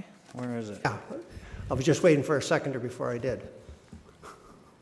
Okay, so let's, you'll, so move by yourself, second by Counselor Yeo? Yes? Yeah.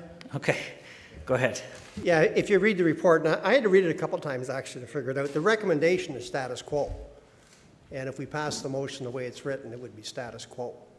Uh, My favorite motion, uh, position, of course, is al- alternative number two, which uh, isn't very palatable to council. So this one here is you hook up when, when your system fails and you don't have to pay until, uh, until such time.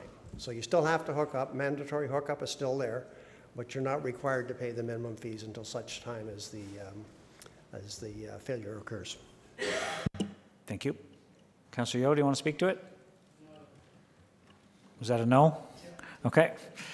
Um, Councillor Ashmore, you had your button pushed. Did you have a question or? You're good? Any other questions, comments? Councillor Riley? Um, I think, I think I support the motion because I think we've kind of come to middle ground on this sort of thing. The only challenge is that the people that have already, uh, uh, that are already have paid and some other people aren't going to pay till, uh, you know, they've been paying all along and then, yeah, yeah, I realize that, but uh, that's just be my comment. Well, 133 of the 134 are paying. So uh, I'm not going to support the motion. I, I think they should be paying something as a fixed cost. I would support some kind of compromise between, you know, what they're paying now, which is the 350, roughly 700 if they have both services, some kind of fixed cost that's a compromise between that and zero. Uh, I don't agree with, uh, you know, with them not having to pay for infrastructure that they have access to. So um, I won't support the motion. Councillor Elmslie, you had a question? No, more of a statement uh, that I think we can have this argument at council because I agree with you. I think that uh, some nominal fee for the service would be fitting, somewhere between what we're collecting now and uh, what would be a, uh, a reasonable fee for We can, we can people have who the aren't- argument here. We don't have to wait till council. We don't have to support the Well, motion. my argument, my argument would be that maybe uh, that uh, the fee be capped at fifty dollars a quarter for water and fifty dollars a quarter for wastewater, which would, if you had both services, that would make it four hundred dollars a year. If you had only one service, it would be two hundred dollars a year. And I, I don't know if I can put that forward as a friendly or uh, uh, make it a motion afterwards. I'm seeing no. Um, He's going to, not at this time, but we can, you know, I, I agree with your, I would agree with that as a follow-up if this fails.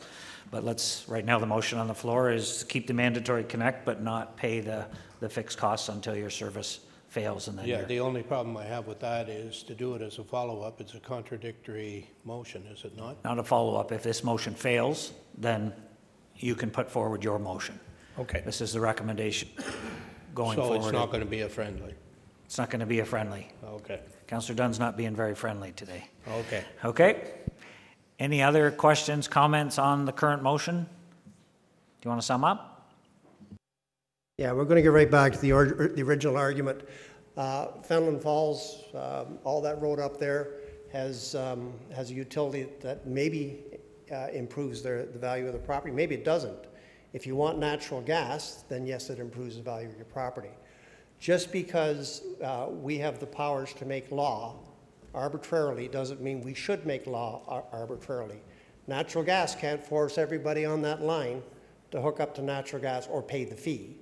Uh, Neither should we force everybody that happens to be on a line pay the fee. Uh, If in fact, at such time, we've already got the mandatory hookup, so they got to hook up. Natural gas doesn't get that option either, by the way. When your furnace fails, you don't get the option. But we at least put that option in there, and that's why I say it's not my favorite option, but it is a compromise. Um, uh, You should be forced to pay for something you neither want nor receive. And it's a bad law that, uh, to, uh, to leave that in there at a nickel a year. What's wrong is wrong, and I think you should support this motion. Thank you. Is everybody clear on the motion? Call the question. All in favor? Not in a committee of, uh, uh, committee of the whole. All in favor? Motion fails. Do you want to do a follow-up, Counselor Elmslie? Yep.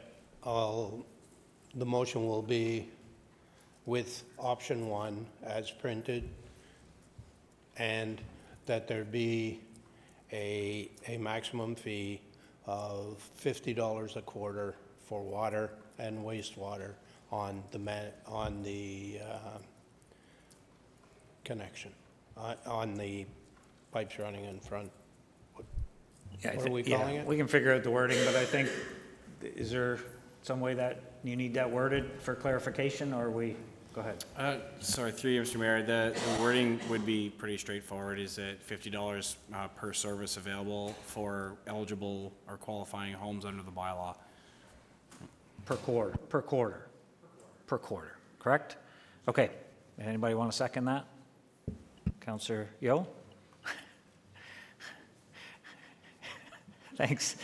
I need some enthusiasm, but yeah, okay, you'll second it. Um, Do you want to speak to it? Counselor Elmslie, you did, or do you want to? No, I think, I think it makes sense that uh, uh, despite Councillor Dunn's persuasive argument about natural gas and other things, natural gas gets their money back in other ways, like through provincial subsidies and, and some other things. Um, And I think that there is a rationale that we have to maintain those pipes on, on a regular basis, and there is um, fire hydrants in the areas, and, and they need to be maintained. So I think something being collected in, in this area and not the full nut uh, makes sense. And I agree with your argument. Uh, Counselor Yeo, do you want to uh, comment? Um, yeah, briefly, um, I agree with Councillor Dunn, um, but if, if we can get it down to a, a nominal fee that is proposed now, I could, I could live with that. I know the people I represent in Norland could live with that uh, a lot easier than they could live with the charges now. So I will support the motion. Thank you. Thank you. Counselor Dunn? Thank you, Mr. Mayor. Question through you to the, whichever director wants to handle it. What's the current uh, mandatory, uh, what's the current mandatory fee on a quarterly basis?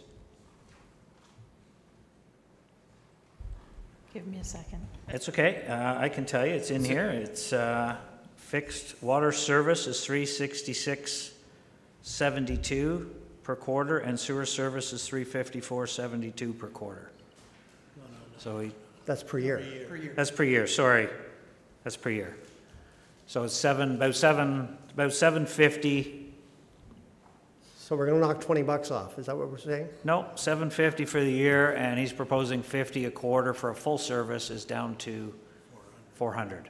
So it's almost half, almost half of what's currently being charged.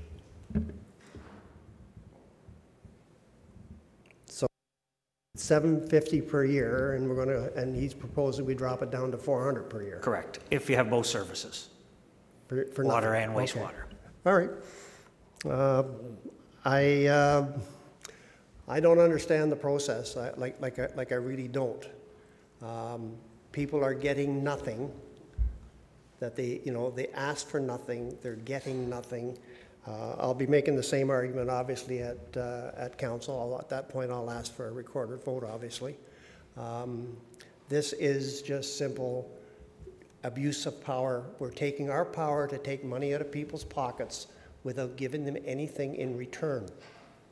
And if anybody was doing that to you, you would object, and so you should. This is 33 cents per user right now. So we're not saving, we're not saving the water people, the people that are paying water bills a whole bunch of money. This is $4 a year, 33 cents per month is what we're saving me as a, as a water payer. It's simply not right, and I hope you don't support this motion either. Thank you. Uh, Any other questions? I certainly don't agree with those comments at all. Do you want to sum, sum up, Councillor Wright? Did you move it? Sorry, Councillor Elmslie, do you want to sum up? You did?